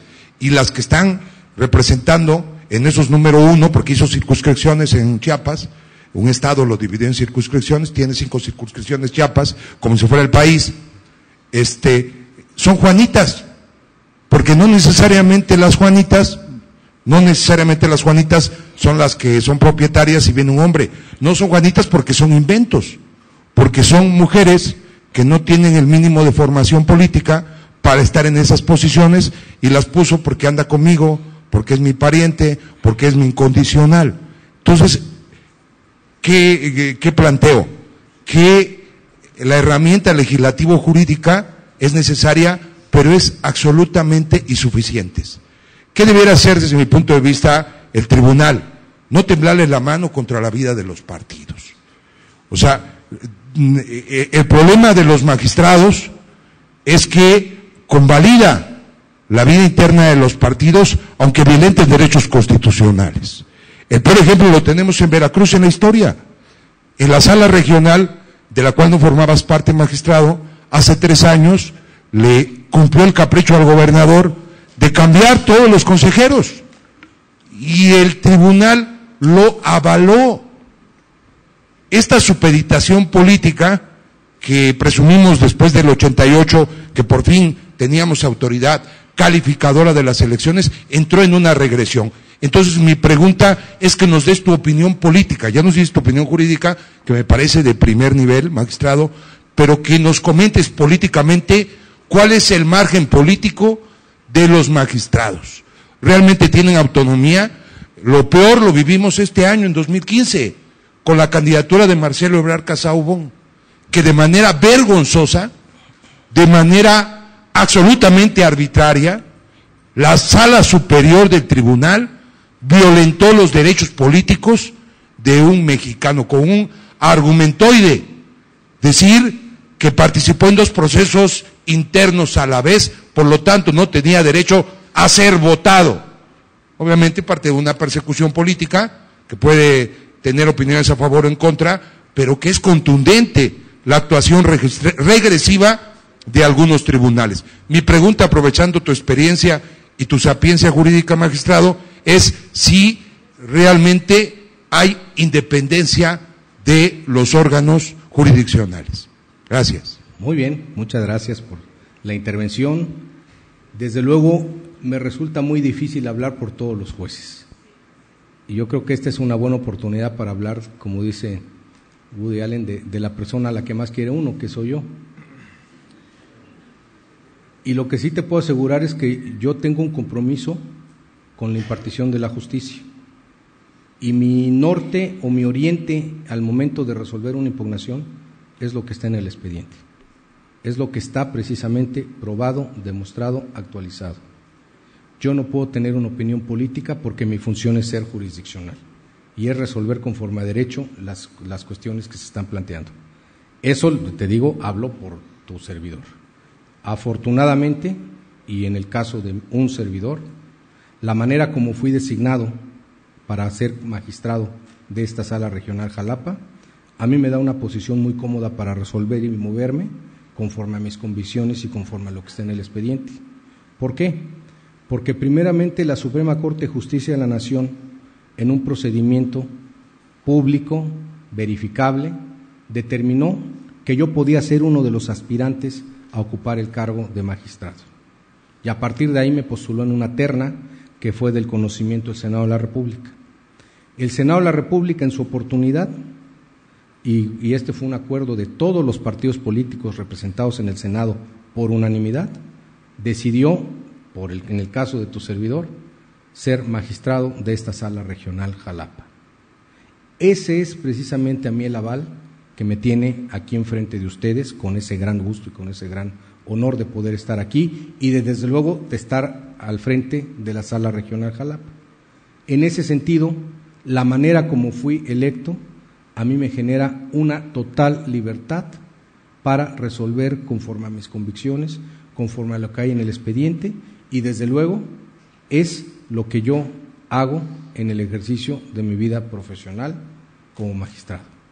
Ese es lo que yo desde luego, volvemos a lo mismo, hablo por, por, por, por quién, pues por mí.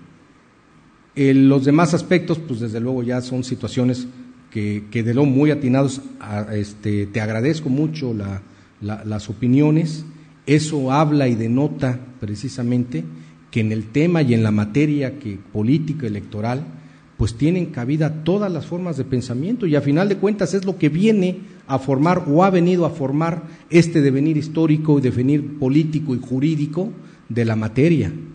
No puede, eh, precisamente la diversidad de opiniones es lo que ha venido a generar aspectos y posiciones que le han venido a dar certeza a las elecciones. Recordemos nada más una cuestión, en materia electoral la gran, toda la mayoría de las reformas son reactivas. A partir de que concluye un proceso electoral, empieza a haber una revisión del recuento de los daños, como se puede decir, y muchas reformas vienen a ser reactivas. Y hay posiciones tan importantes y tan interesantes como el nuevo escrutinio y cómputo de los votos, el voto por voto, etcétera, que a final de cuentas tienen cabidas a partir de realidades fácticas.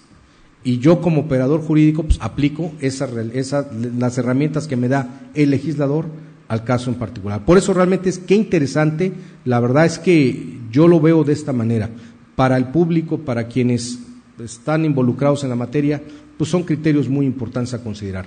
Para quien no ha tenido un contacto con la materia, sin duda alguna opiniones como la que nos das vienen también a moldar una realidad que no podemos tampoco hacer a un lado. Te agradezco realmente el comentario y la oportunidad de dirigirme a ti. No sé si hay alguien más, este, señor consejero, antes del consejero. Allá atrás. Este.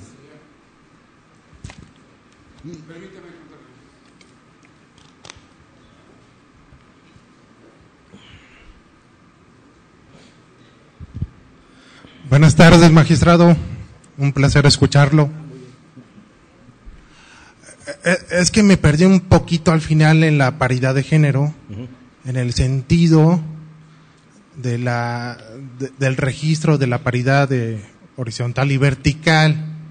Y luego menciona que en la, en la sala Jalapa, cuando una diputada de mayoría relativa gana, pues pierde su lugar en la lista de RP y hacen el corrimiento.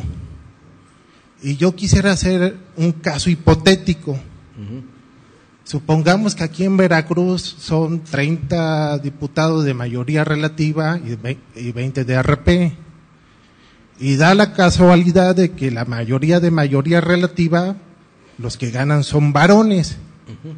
¿Podría o debería el órgano local decir o decidir en esta igualdad de género que de las listas que, de los, que presenten los partidos políticos van a tomar a las mujeres para que no solo vaya en el registro, sino también en la conformación de, de, un poder, en este caso legislativo. Bueno, esa es una pregunta, ¿no? muy bien. La otra es, en este trayecto histórico que nos ha hecho de la evolución del, del sistema democrático en México desde el 76, cómo ha evolucionado en forma muy, pues, ¿cómo lo podremos decir? Muy sólida.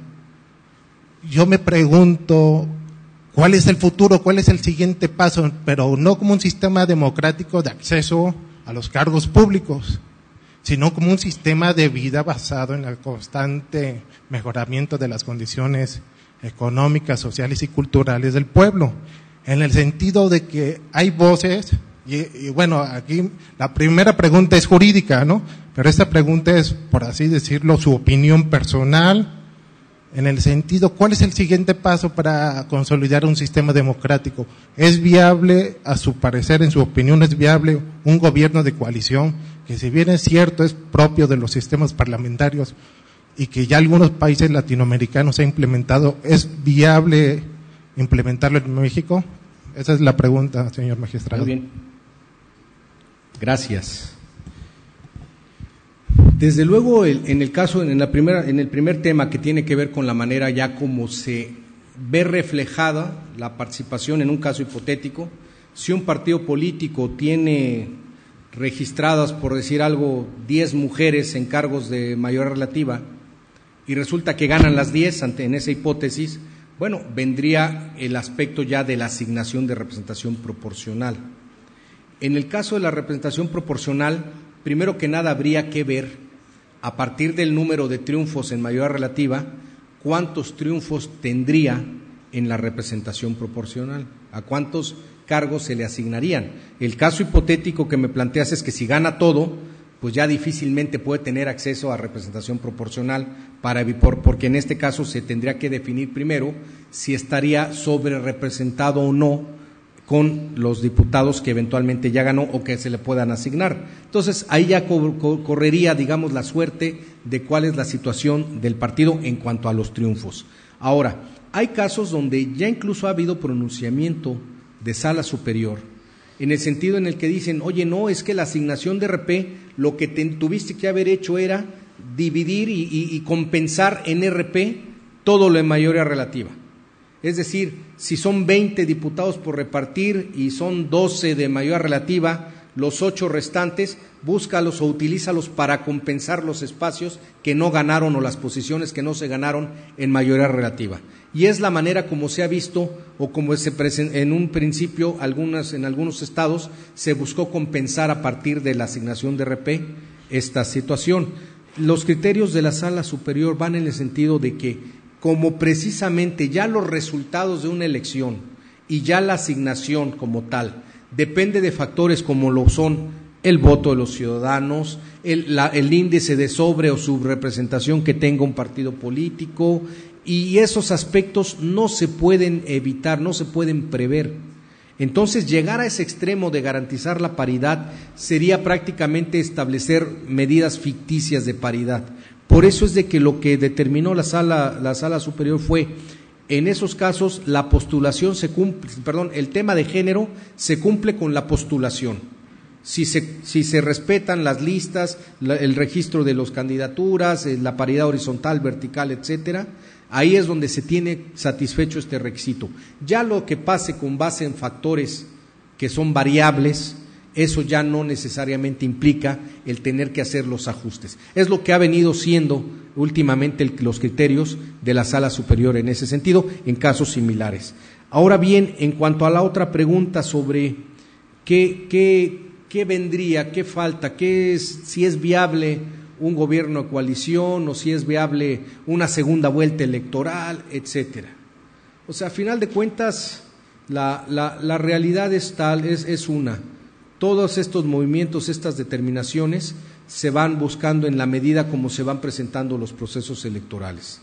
El, tema, por ejemplo, de, una, de, una, segunda vuelta electoral, pues estuvo muy, de, muy, fue muy comentado con las elecciones del 2006, en donde hubo una diferencia muy cerrada entre el primero y el segundo lugar, menor a, menor a un, a un, un, por, a un por ciento, y entonces decían, es que para dotar de legitimidad a quien llegue a gobernar, pues lo, uno de los caminos será una segunda vuelta electoral, en donde vayan a la segunda vuelta los que tuvieron las mejores, las mejores votaciones.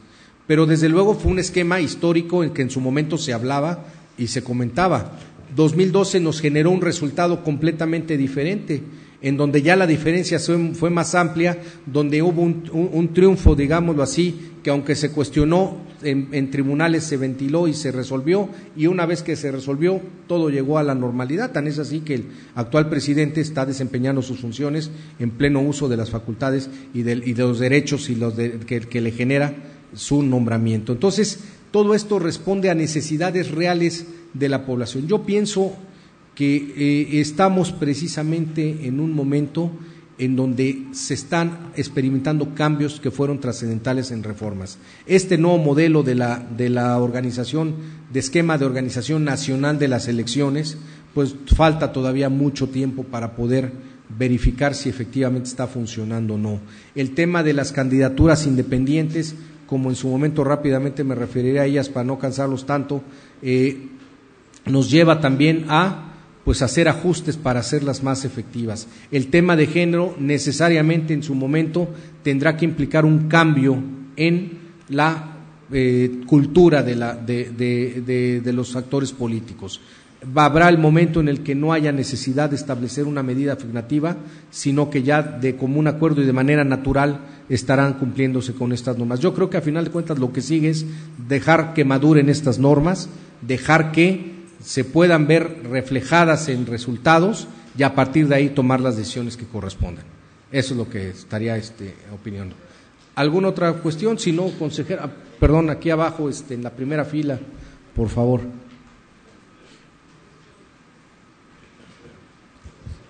Buenas noches, un placer escucharlo, magistrado. Eh, tengo una duda respecto a los candidatos independientes.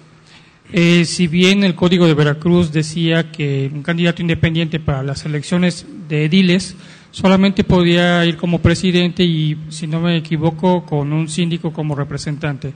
He escuchado a nivel nacional que ya pueden también presentar fórmula de ediles. Mi pregunta es si también tiene que ir en estas candidaturas independientes el principio de equidad, como usted menciona, respetarlo en esta fórmula, o solamente sería para los partidos políticos. Y en cuanto hace al financiamiento de los partidos, perdón, de los candidatos independientes, me genera la duda de que ahora el INE es el que tenga que fiscalizar los recursos económicos.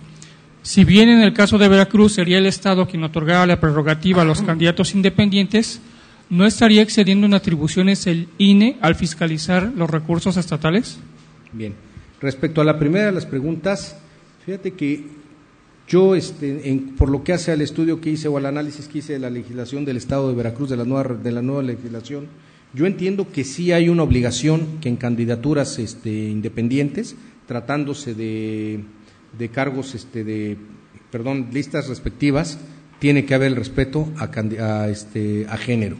Entonces, perdón, no tengo ahorita el fundamento exacto, pero sí recuerdo haber visto que tiene la obligación en la planilla de candidatos correspondiente, se, tendrá la obligación de respetar esta cuestión de género. Ya en cuanto al, tema del financiamiento, eh, pues mira, es una, es, es una opinión desde luego muy interesante la que nos estás planteando, pero el modelo de, el modelo de, de fiscalización que hoy en día prevalece es el que ha, venido generando la necesidad de que sea la unidad técnica de fiscalización la que concentre todas las, todas las este, actividades y todo, en este caso, todos los reportes de gastos de campaña, buscando precisamente una uniformidad en, esta, en, este, en este tema. Yo, desde luego, es, un, es una temática que, mientras esté fiscalizado, es una opinión personal, mientras esté fiscalizado, el órgano que lo tenga que hacer o no, pues realmente pues, es intrascendente. Lo importante es que haya una eficacia en la fiscalización. Hasta donde yo, hasta donde yo conozco, hasta donde yo sé, realmente la unidad de fiscalización se está arropando o tiene una estructura que permite y que garantiza una, inteligencia en la búsqueda de, datos financieros. Eso es lo que a final de cuentas este programa entiendo que, que fue la Facultad de Contaduría y Administración de la Universidad Nacional Autónoma de México la que participó una vez que hubo un intento fallido de una, empresa extranjera, fue la que eh, llevó a cabo el modelo de inteligencia financiera para poder eh, darle seguimiento a todos los reportes de gastos de campaña. Entonces, a partir de ahí es donde yo entiendo que, que la estructura existe, está la capacidad instalada y es un elemento que yo entiendo en un, en un marco de, de sistema nacional de organización de las elecciones que puede ser eficaz. Lo importante aquí es que haya una fiscalización. Eso termina siendo mi conclusión. ¿Algún otro comentario? Si no, damos paso. Bien, son casi 7.35. En realidad, en candidaturas independientes, lo que, lo que yo quiero hacer una referencia también es, hay, una, hay, hay la necesidad, a partir de un agotamiento de un modelo sólido de partidos políticos, hay una necesidad a la postulación por una vía distinta a la de los partidos políticos para formar, eh, para poder participar como candidatos es una realidad que está establecida en la legislación.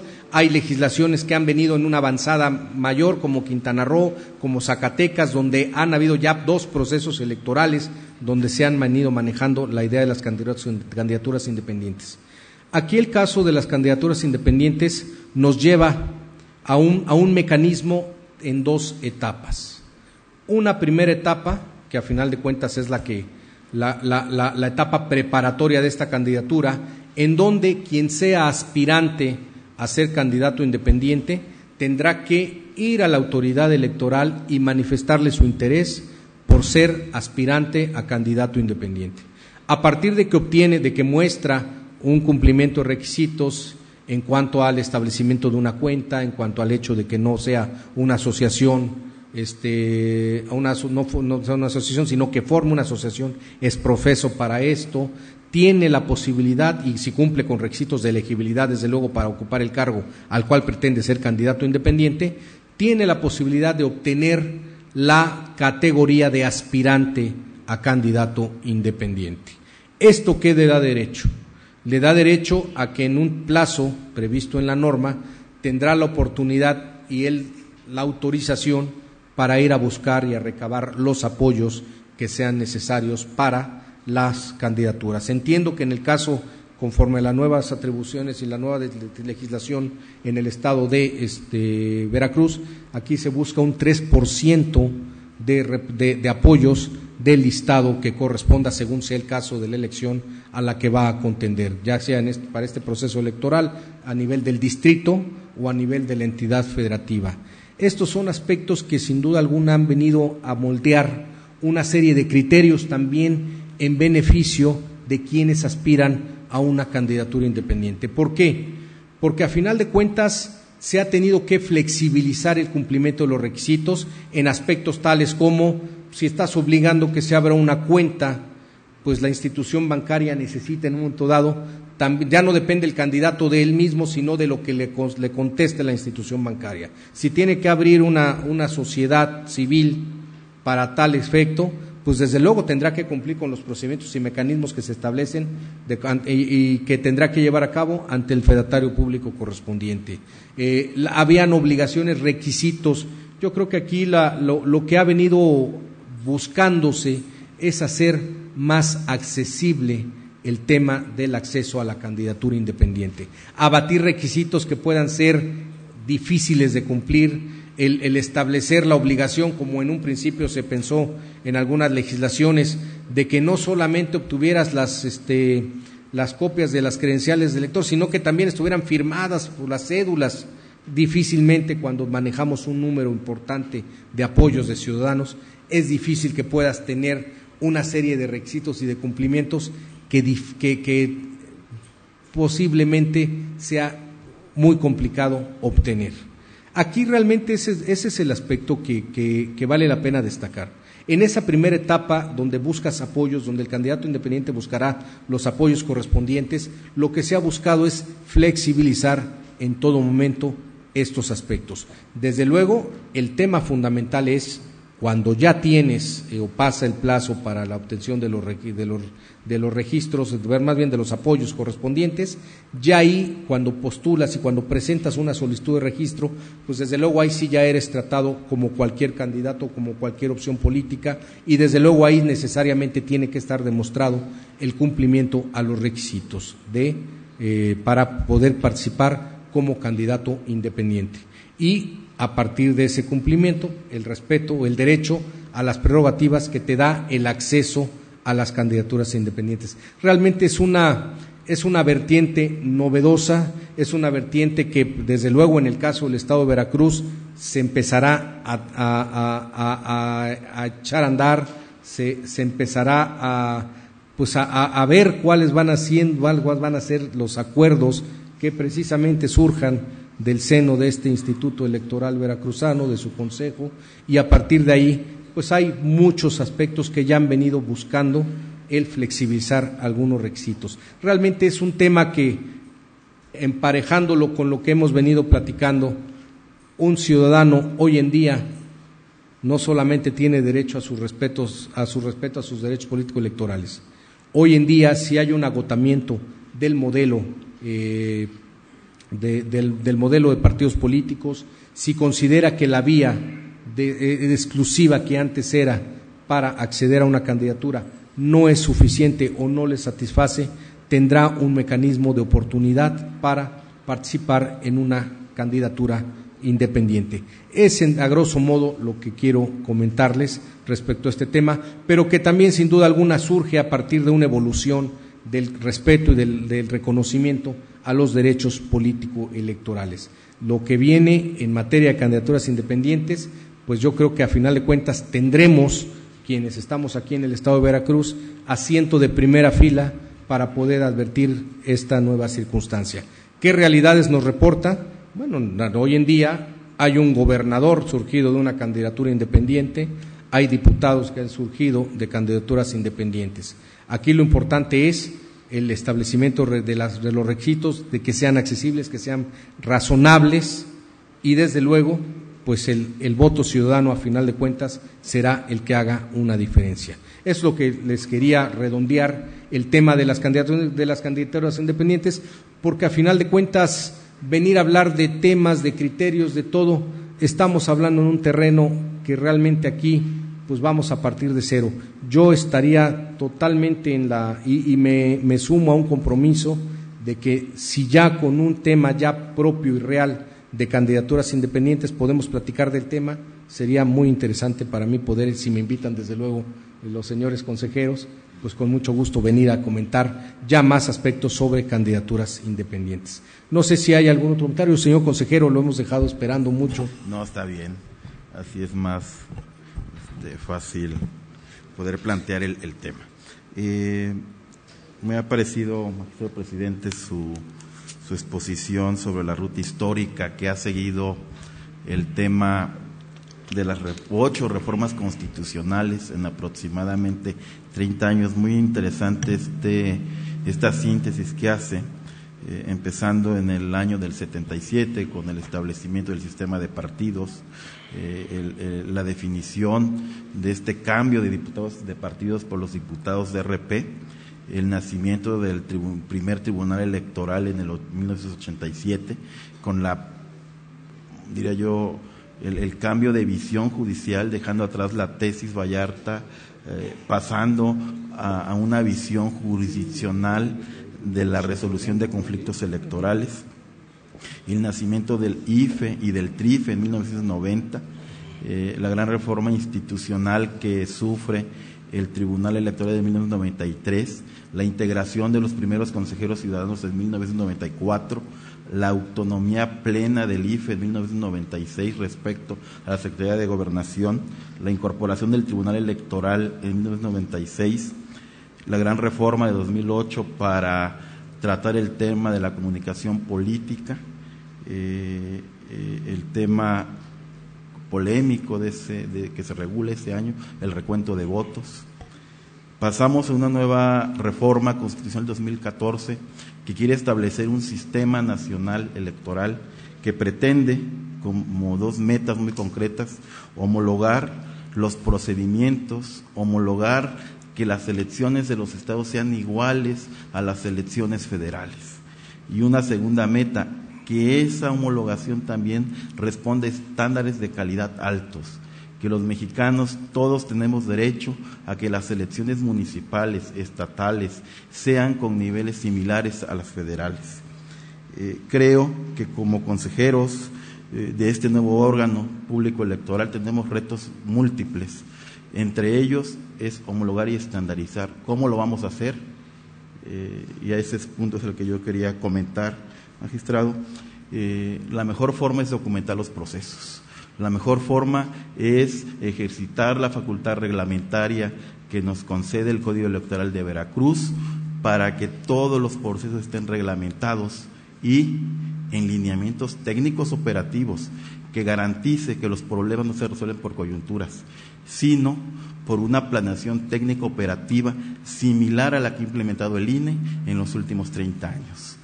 En, ese sentido, yo creo que la autoridad judicial eh, está en una etapa esencial de que nosotros iniciaremos el próximo viernes con la emisión del primer reglamento de la reforma política electoral del Estado de Veracruz y seguramente el diálogo, la discusión y la crítica entre el OPLE Veracruz, el tribunal local y la sala regional que usted preside será muy importante ese diálogo porque ustedes al final del día son quienes revisan y validan esta función reglamentaria que hemos de implementar y que hemos de concluir de aquí al 28 de diciembre de este año.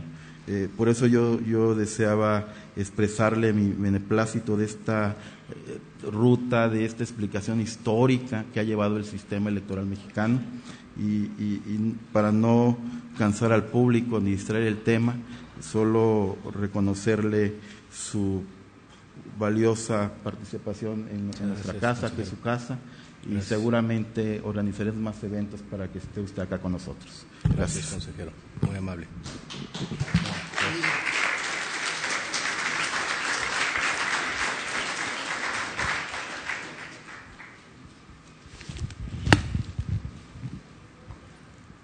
Buenas noches, magistrado. Este, el tema de candidaturas independiente, obviamente es nuevo en nuestro estado de Veracruz y que a próximo a iniciar el, proceso electoral a través de este órgano, pues surgen algunas dudas. Eh, yo tendría dos dudas y a, la vez preguntas. La primera en torno a, la, a uno de los requisitos que usted acaba de manejar sobre la asociación civil. Yo quiero ser, eh, eh, voy a poner ejemplo, ¿no? Obviamente no. Yo voy a ser, eh, quiero aspirar a ser candidata a, gobernadora por candidatura independiente. Pero obviamente tengo que tener una representación en los 30 distritos locales pero yo a su vez quisiera que esos 30 distritos tuvieran candidatos independientes que apoyaran eh, mi candidatura independiente. Mi pregunta es en torno a la asociación civil. Si mi asociación civil que yo voy es uno de los requisitos para poder ser aspirante, a, inscribirme para ser aspirante a candidata a gobernadora, tendría también cabida los 30 o 15 o 10 o 5 candidatos aspirantes a diputa, este, a candidatos independientes, a diputados locales dentro de esa asociación civil que yo, este, que obviamente me va a permitir y acompañar en el registro? Esa sería mi pregunta. Y la segunda, en torno al porcentaje. Obviamente la norma veracruzana establece eh, el 3%. Eh, todo indica que dentro de unas semanas o unos días la Suprema Corte va a resolver en torno a la acción de inconstitucionalidad eh, que presentaron para hacer de 3 a, a 2. suponiendo que la Corte no lo cambiara, lo quedara, eh, dejara en, el, en tres. Al final de cuentas, violentaría una norma en torno al porcentaje que establece este, y que, que a nivel federal no establece el 3%. Y al momento en que yo me registrara como aspirante a una candidatura independiente, promovería en torno a una norma heteroaplicativa por el 3%, eh, por ciento, porque me afectaría. Yo quisiera saber su punto de vista en torno a, a esta pregunta. Muchas gracias. Muy bien. En relación con el tema de la asociación, la legislación lo que plantea es el hecho de que se tiene que eh, establecer una asociación civil es profeso para la candidatura de que se trate. Ese es lo que establece la legislación. Desde luego, y como, como lo comenta el señor consejero Vázquez, tendrá que recaer el acuerdo correspondiente en la facultad reglamentaria del instituto para determinar los, los alcances de esta, de esta asociación, cuáles van a ser los requisitos que ya en la facultad reglamentaria se establezcan. Ahora bien, el, el establecimiento de una asociación civil es profeso desde luego nos puede dar lugar a interpretaciones en cuanto a si es profeso se puede entender por qué es exclusivamente para la candidatura a la cual usted está aspirando o habrá que interpretar si es para un grupo de candidaturas como eventualmente usted lo está, lo está estableciendo. No soy grosero, pero seguramente un asunto de esa naturaleza y pensando que usted lo, lo está planteando y que seguramente cualquier otro candidato lo puede, lo puede tener como una posibilidad, pues desde luego sería un asunto que incluso pudiera estar llegando a la sala, a la sala regional y ahí tendríamos nosotros que determinar el alcance de la expresión es profeso para la candidatura. ¿sí? Ya ahí pudiéramos en un dado llegar a la conclusión de que es para una sola candidatura o eventualmente quizá una interpretación este, amplia del término y dada la circunstancia pudiera en un dado, de, con los elementos que además existieran en el expediente, considerarse la posibilidad de que pudiera incluso haber un grupo de, este, de asociados en ese sentido. Eh, por ejemplo, me viene a la mente un caso del Estado de Jalisco donde alguien que ya tenía una asociación dijo, bueno, pues si ya te pides una asociación, yo ya la tengo, soy el representante de la, de la democracia nacional desde hace 10 años, y así se llama mi asociación, y vengo a, decir, bueno, pues aquí está mi, asociación, espérate, yo te estoy diciendo que yo quiero tratar contigo como candidato porque te voy a dar presupuesto, te voy a dar, te voy a dar financiamiento, te voy a dar una representatividad y desde luego me tienes que cumplir con una asociación creada en ese momento, ¿no? No puede ser una que ya tenías armada porque el objeto y fin de esa asociación es completamente distinto al de ser candidato a, este, en este caso, a, independiente. Eso sería el primer tema. Ahora, respecto al segundo tema, que también es un planteamiento muy interesante. El esquema de control constitucional en nuestro país nos lleva a dos mecanismos, el control abstracto y el control concreto de aplicación. El control abstracto, en este caso en particular, es el que está llevando a cabo la Suprema Corte de Justicia de la Nación. Cuando una norma, a partir de su expedición, se considera que alguno de sus preceptos puede ser contrario a la Constitución, pues entonces se busca a través de la acción de inconstitucionalidad el que la Suprema Corte de Justicia de la Nación, de considerarlo correspondiente y de, establecer la votación mínima de ocho ministros, lograría, se buscaría el establecimiento de pues una de que se declare inaplicable esa norma por inconstitucional y tener efectos generales incluso. Ahora bien, el siguiente supuesto es, vamos a pensar que la Corte determina que, es constitucional, determina que, los, los, estados están en la plena libertad de establecimiento de los requisitos, etcétera, y dice que es acorde a la Constitución. Desde luego hay otro mecanismo que es el control concreto de los actos de aplicación, es decir, a partir de que se aplique el acto concreto, en este caso esta norma, habría también la posibilidad de, que se cuestionara el acto a partir de que se está basando en una norma que derivado de su aplicación es contraria a la Constitución.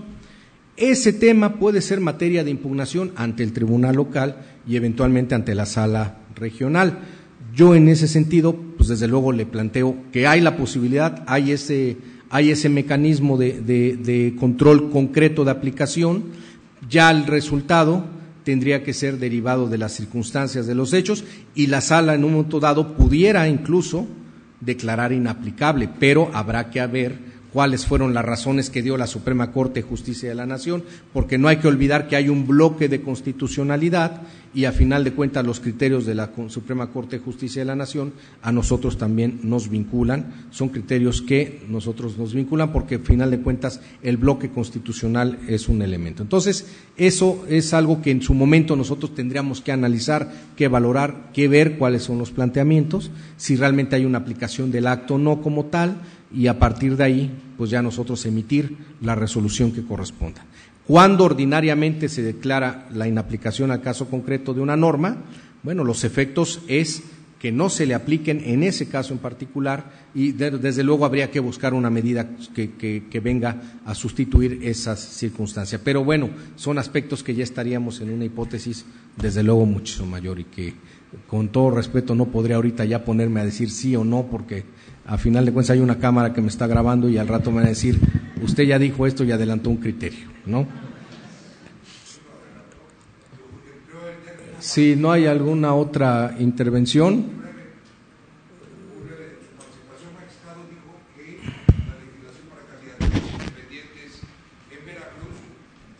facilitaba.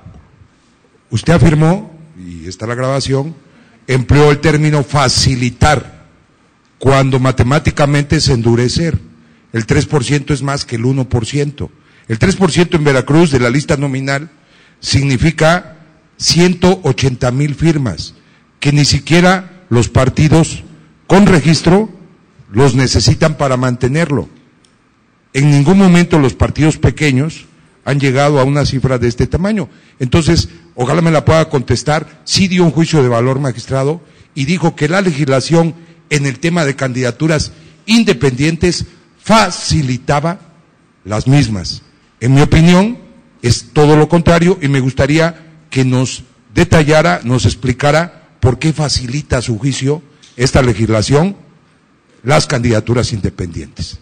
Muchas lo explicara muy bien, pero yo no lo dije así. Entonces, yo lo que planteé es que el sistema o los criterios del tribunal lo que buscan es flexibilizar la interpretación en la aplicación de las normas de respecto a los requisitos para cumplir con las normas. Desde luego, con todo respeto, este, pues también respeto su opinión en ese sentido, pero bueno, no puedo opinar en respecto a una cuestión, una cuestión que no, que no comenté. Ya en su momento, cuando nos presente la demanda representando a su partido político, pues entonces en su momento ya estaríamos en posibilidad de, de poder entrar en, esa, en ese diálogo. Muchas gracias. Adelante, hay, otra, otra intervención. Este, buenas noches, magistrado. Este, tengo dos preguntas. Una de ellas es eh, la que, bueno, la que siempre vemos cuando vamos a ejercer el, sufragio, que es el candidato no registrado. ¿Qué es eso del candidato no registrado en su momento? La otra es, eh, para ese proceso electoral del que se aproxima para 2016, va a ser los mismos criterios, bueno, que están diciendo que al parecer sí el, IEC lo va a, ocupar, quiero entender eso, que si van a ser los mismos, este, eh, los mismos este, preceptos que para las candidaturas este, independientes para diputados este, independientes eh, a nivel federal. ¿sí? Eh, hay un, bueno, yo tuve la oportunidad de, de estar dentro de una de las campañas de los aspirantes y realmente al momento que dicen que el famoso cruce de los del apoyo ciudadano, dicen, el, el, propio instituto dice, el primero que llegue de los, de los aspirantes a candidatos independientes va a ser el que lleva, lleva el, eh, vamos a decir, como que los votos o el apoyo ciudadano. Realmente, si una persona, como, yo como persona, apoyo a tres candidatos a la vez, eso quiere decir que mi, que mi este, apoyo ciudadano no vale. ¿O cómo lo van a interpretar? Porque de hecho eso fue lo que nos pasó en, en estas pasadas campañas, eso fue lo que nos pasó. Entonces, el primero que llega tiene el derecho de todo, de todas las, este, de todos los apoyos ciudadanos. Y el, por decir, en el caso que nosotros somos los últimos, ya no tenemos derecho a nada. Aquí, eh, bueno, desde mi punto de vista, si hay una violación de derechos, porque el, si el voto es libre, eh, libre y secreto, mi voto, bueno, en este caso mi, apoyo ciudadano está siendo vulnerado. Eh, se pierde en sí la, la idea. Es todo. Gracias. Al contrario, gracias a usted en relación con el candidato no registrado. La, la boleta electoral nos da la oportunidad, y esto es una decisión que hasta donde yo recuerdo tiene prácticamente desde su existencia la boleta electoral, nos da un recuadro que señala candidato independiente. Esto implica que si algún ciudadano no le no le satisface la oferta política que tiene enfrente, es decir, los candidatos que se encuentran en la, boleta electoral postulados por los partidos políticos, puede optar por señalar el nombre de un candidato que considere cumple a su satisfacción esta posibilidad de ser el que gane esa elección. Ha habido toda una situación. Eh, legalmente, hoy en día, el candidato independiente, el voto a favor del candidato independiente, es un voto que técnicamente se podría considerar como un voto nulo. ¿Por qué? Porque no existe un mecanismo para computar este voto y para darle eventualmente, en caso de que sea una mayoría, darle un, efecto. Además, hay aspectos relacionados con pues, el cumplimiento de requisitos de elegibilidad, etcétera, que necesariamente tendrían que pues verificarse antes de tomar una decisión en ese sentido. Yo recuerdo, han habido dos casos, eh, la legislación del Estado de Tamaulipas consideraba en algún momento, en un proceso electoral por ahí en los años 90, que si un candidato que, se, pues, señalado por los ciudadanos como no registrado lograba una mayoría, era convocado para precisamente verificar el cumplimiento de requisitos de elegibilidad y eventualmente se le podía dar el triunfo. También entiendo que en un caso, en una elección en el Estado de México, se dio una situación similar. Sin embargo, es una temática que técnicamente no ha, no ha cuajado, no ha tenido una, un impacto importante y trascendente en ese sentido. Tan es así que la legislación del Estado de Tamaulipas, que regulaba este aspecto, en, su, en la siguiente reforma eliminó, abrogó esta cuestión del candidato independiente. Pero a final de cuentas es un voto técnicamente válido porque no, no influye, no, afecta para, el efecto, para casos, por ejemplo, de alguna asignación de un cómputo, simplemente se elimina, incluso para considerar una votación válida emitida, pues salen los votos nulos más los votos de los candidatos independientes. En relación con el segundo caso, eh, el tema este de, de, las lices, de los cruces, de la llegada oportuna. Bueno, aquí desde luego hay que estar a lo que diga el reglamento para la formación de las coaliciones. No sé si exista este reglamento todavía o esté en, trámite por parte del Consejo de, de, realizarlo. Ahí yo lo invito a que precisamente habrá que estar a lo que se establezca en ese reglamento y desde luego en su oportunidad pues poder este, tener la decisión de, de, ver si le satisface o no le satisface en ese sentido y si hay la posibilidad de eventualmente ante una ante una posibilidad real o ante una ante un interés de, de llevarlo a cabo de, ser candidato pues en un dado incluso hasta por la posibilidad de cuestionarlo ahora recuérdeme la última la última pregunta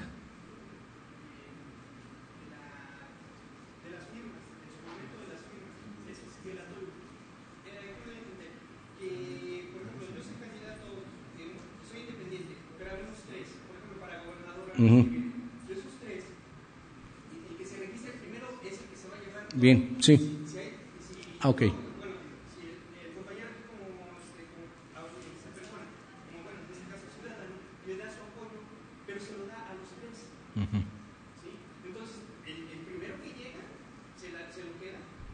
Bien. Mire, en casos similares lo que ha pasado en el caso de candidatos independientes, es que cuando se detecta, porque precisamente parte de la revisión que lleva a cabo el Registro Federal de Electores con las claves de elector es alimentar la, este, la computadora con esas claves y saldrán, desde luego, los distintos apoyos. El criterio que generalmente se ha manejado es que el último apoyo que se, que se otorga es el que se termina dándole validez.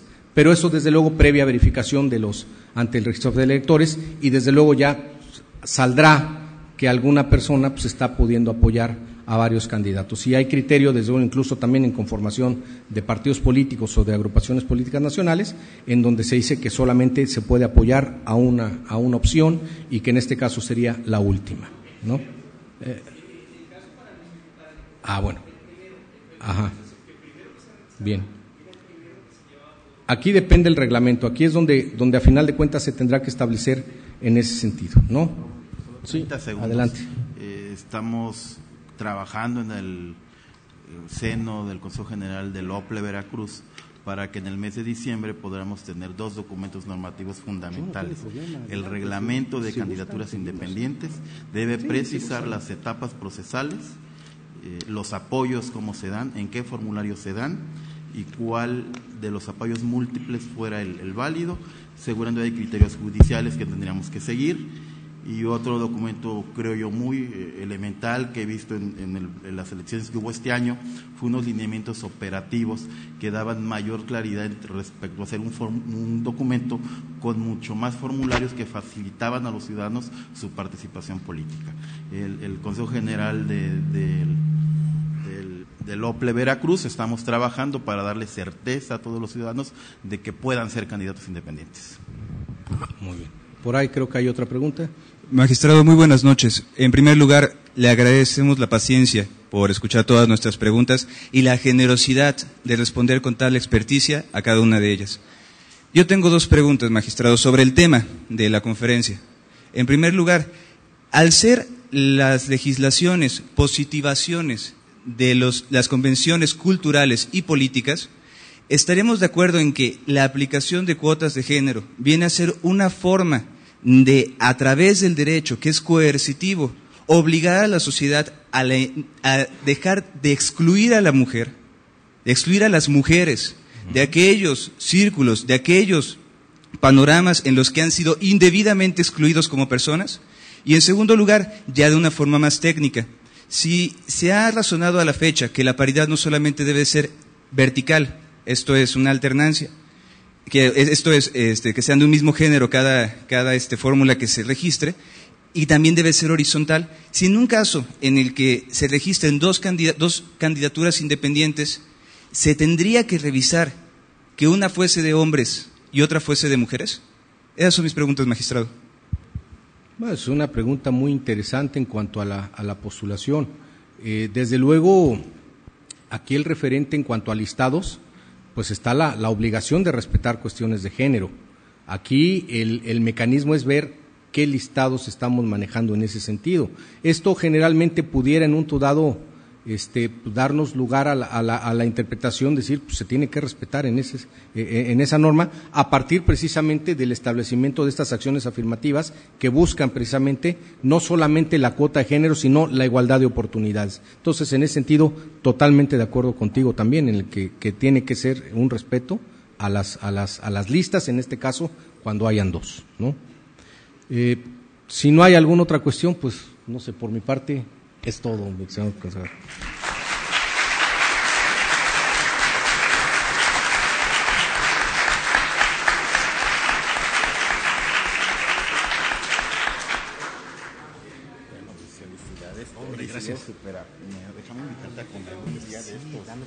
Vamos a hacer la entrega de un reconocimiento a nuestro ponente eh, por conducto de la doctora Tania Celina Vázquez Muñoz y la doctora Eva Barriento Cepeda. Muchas gracias.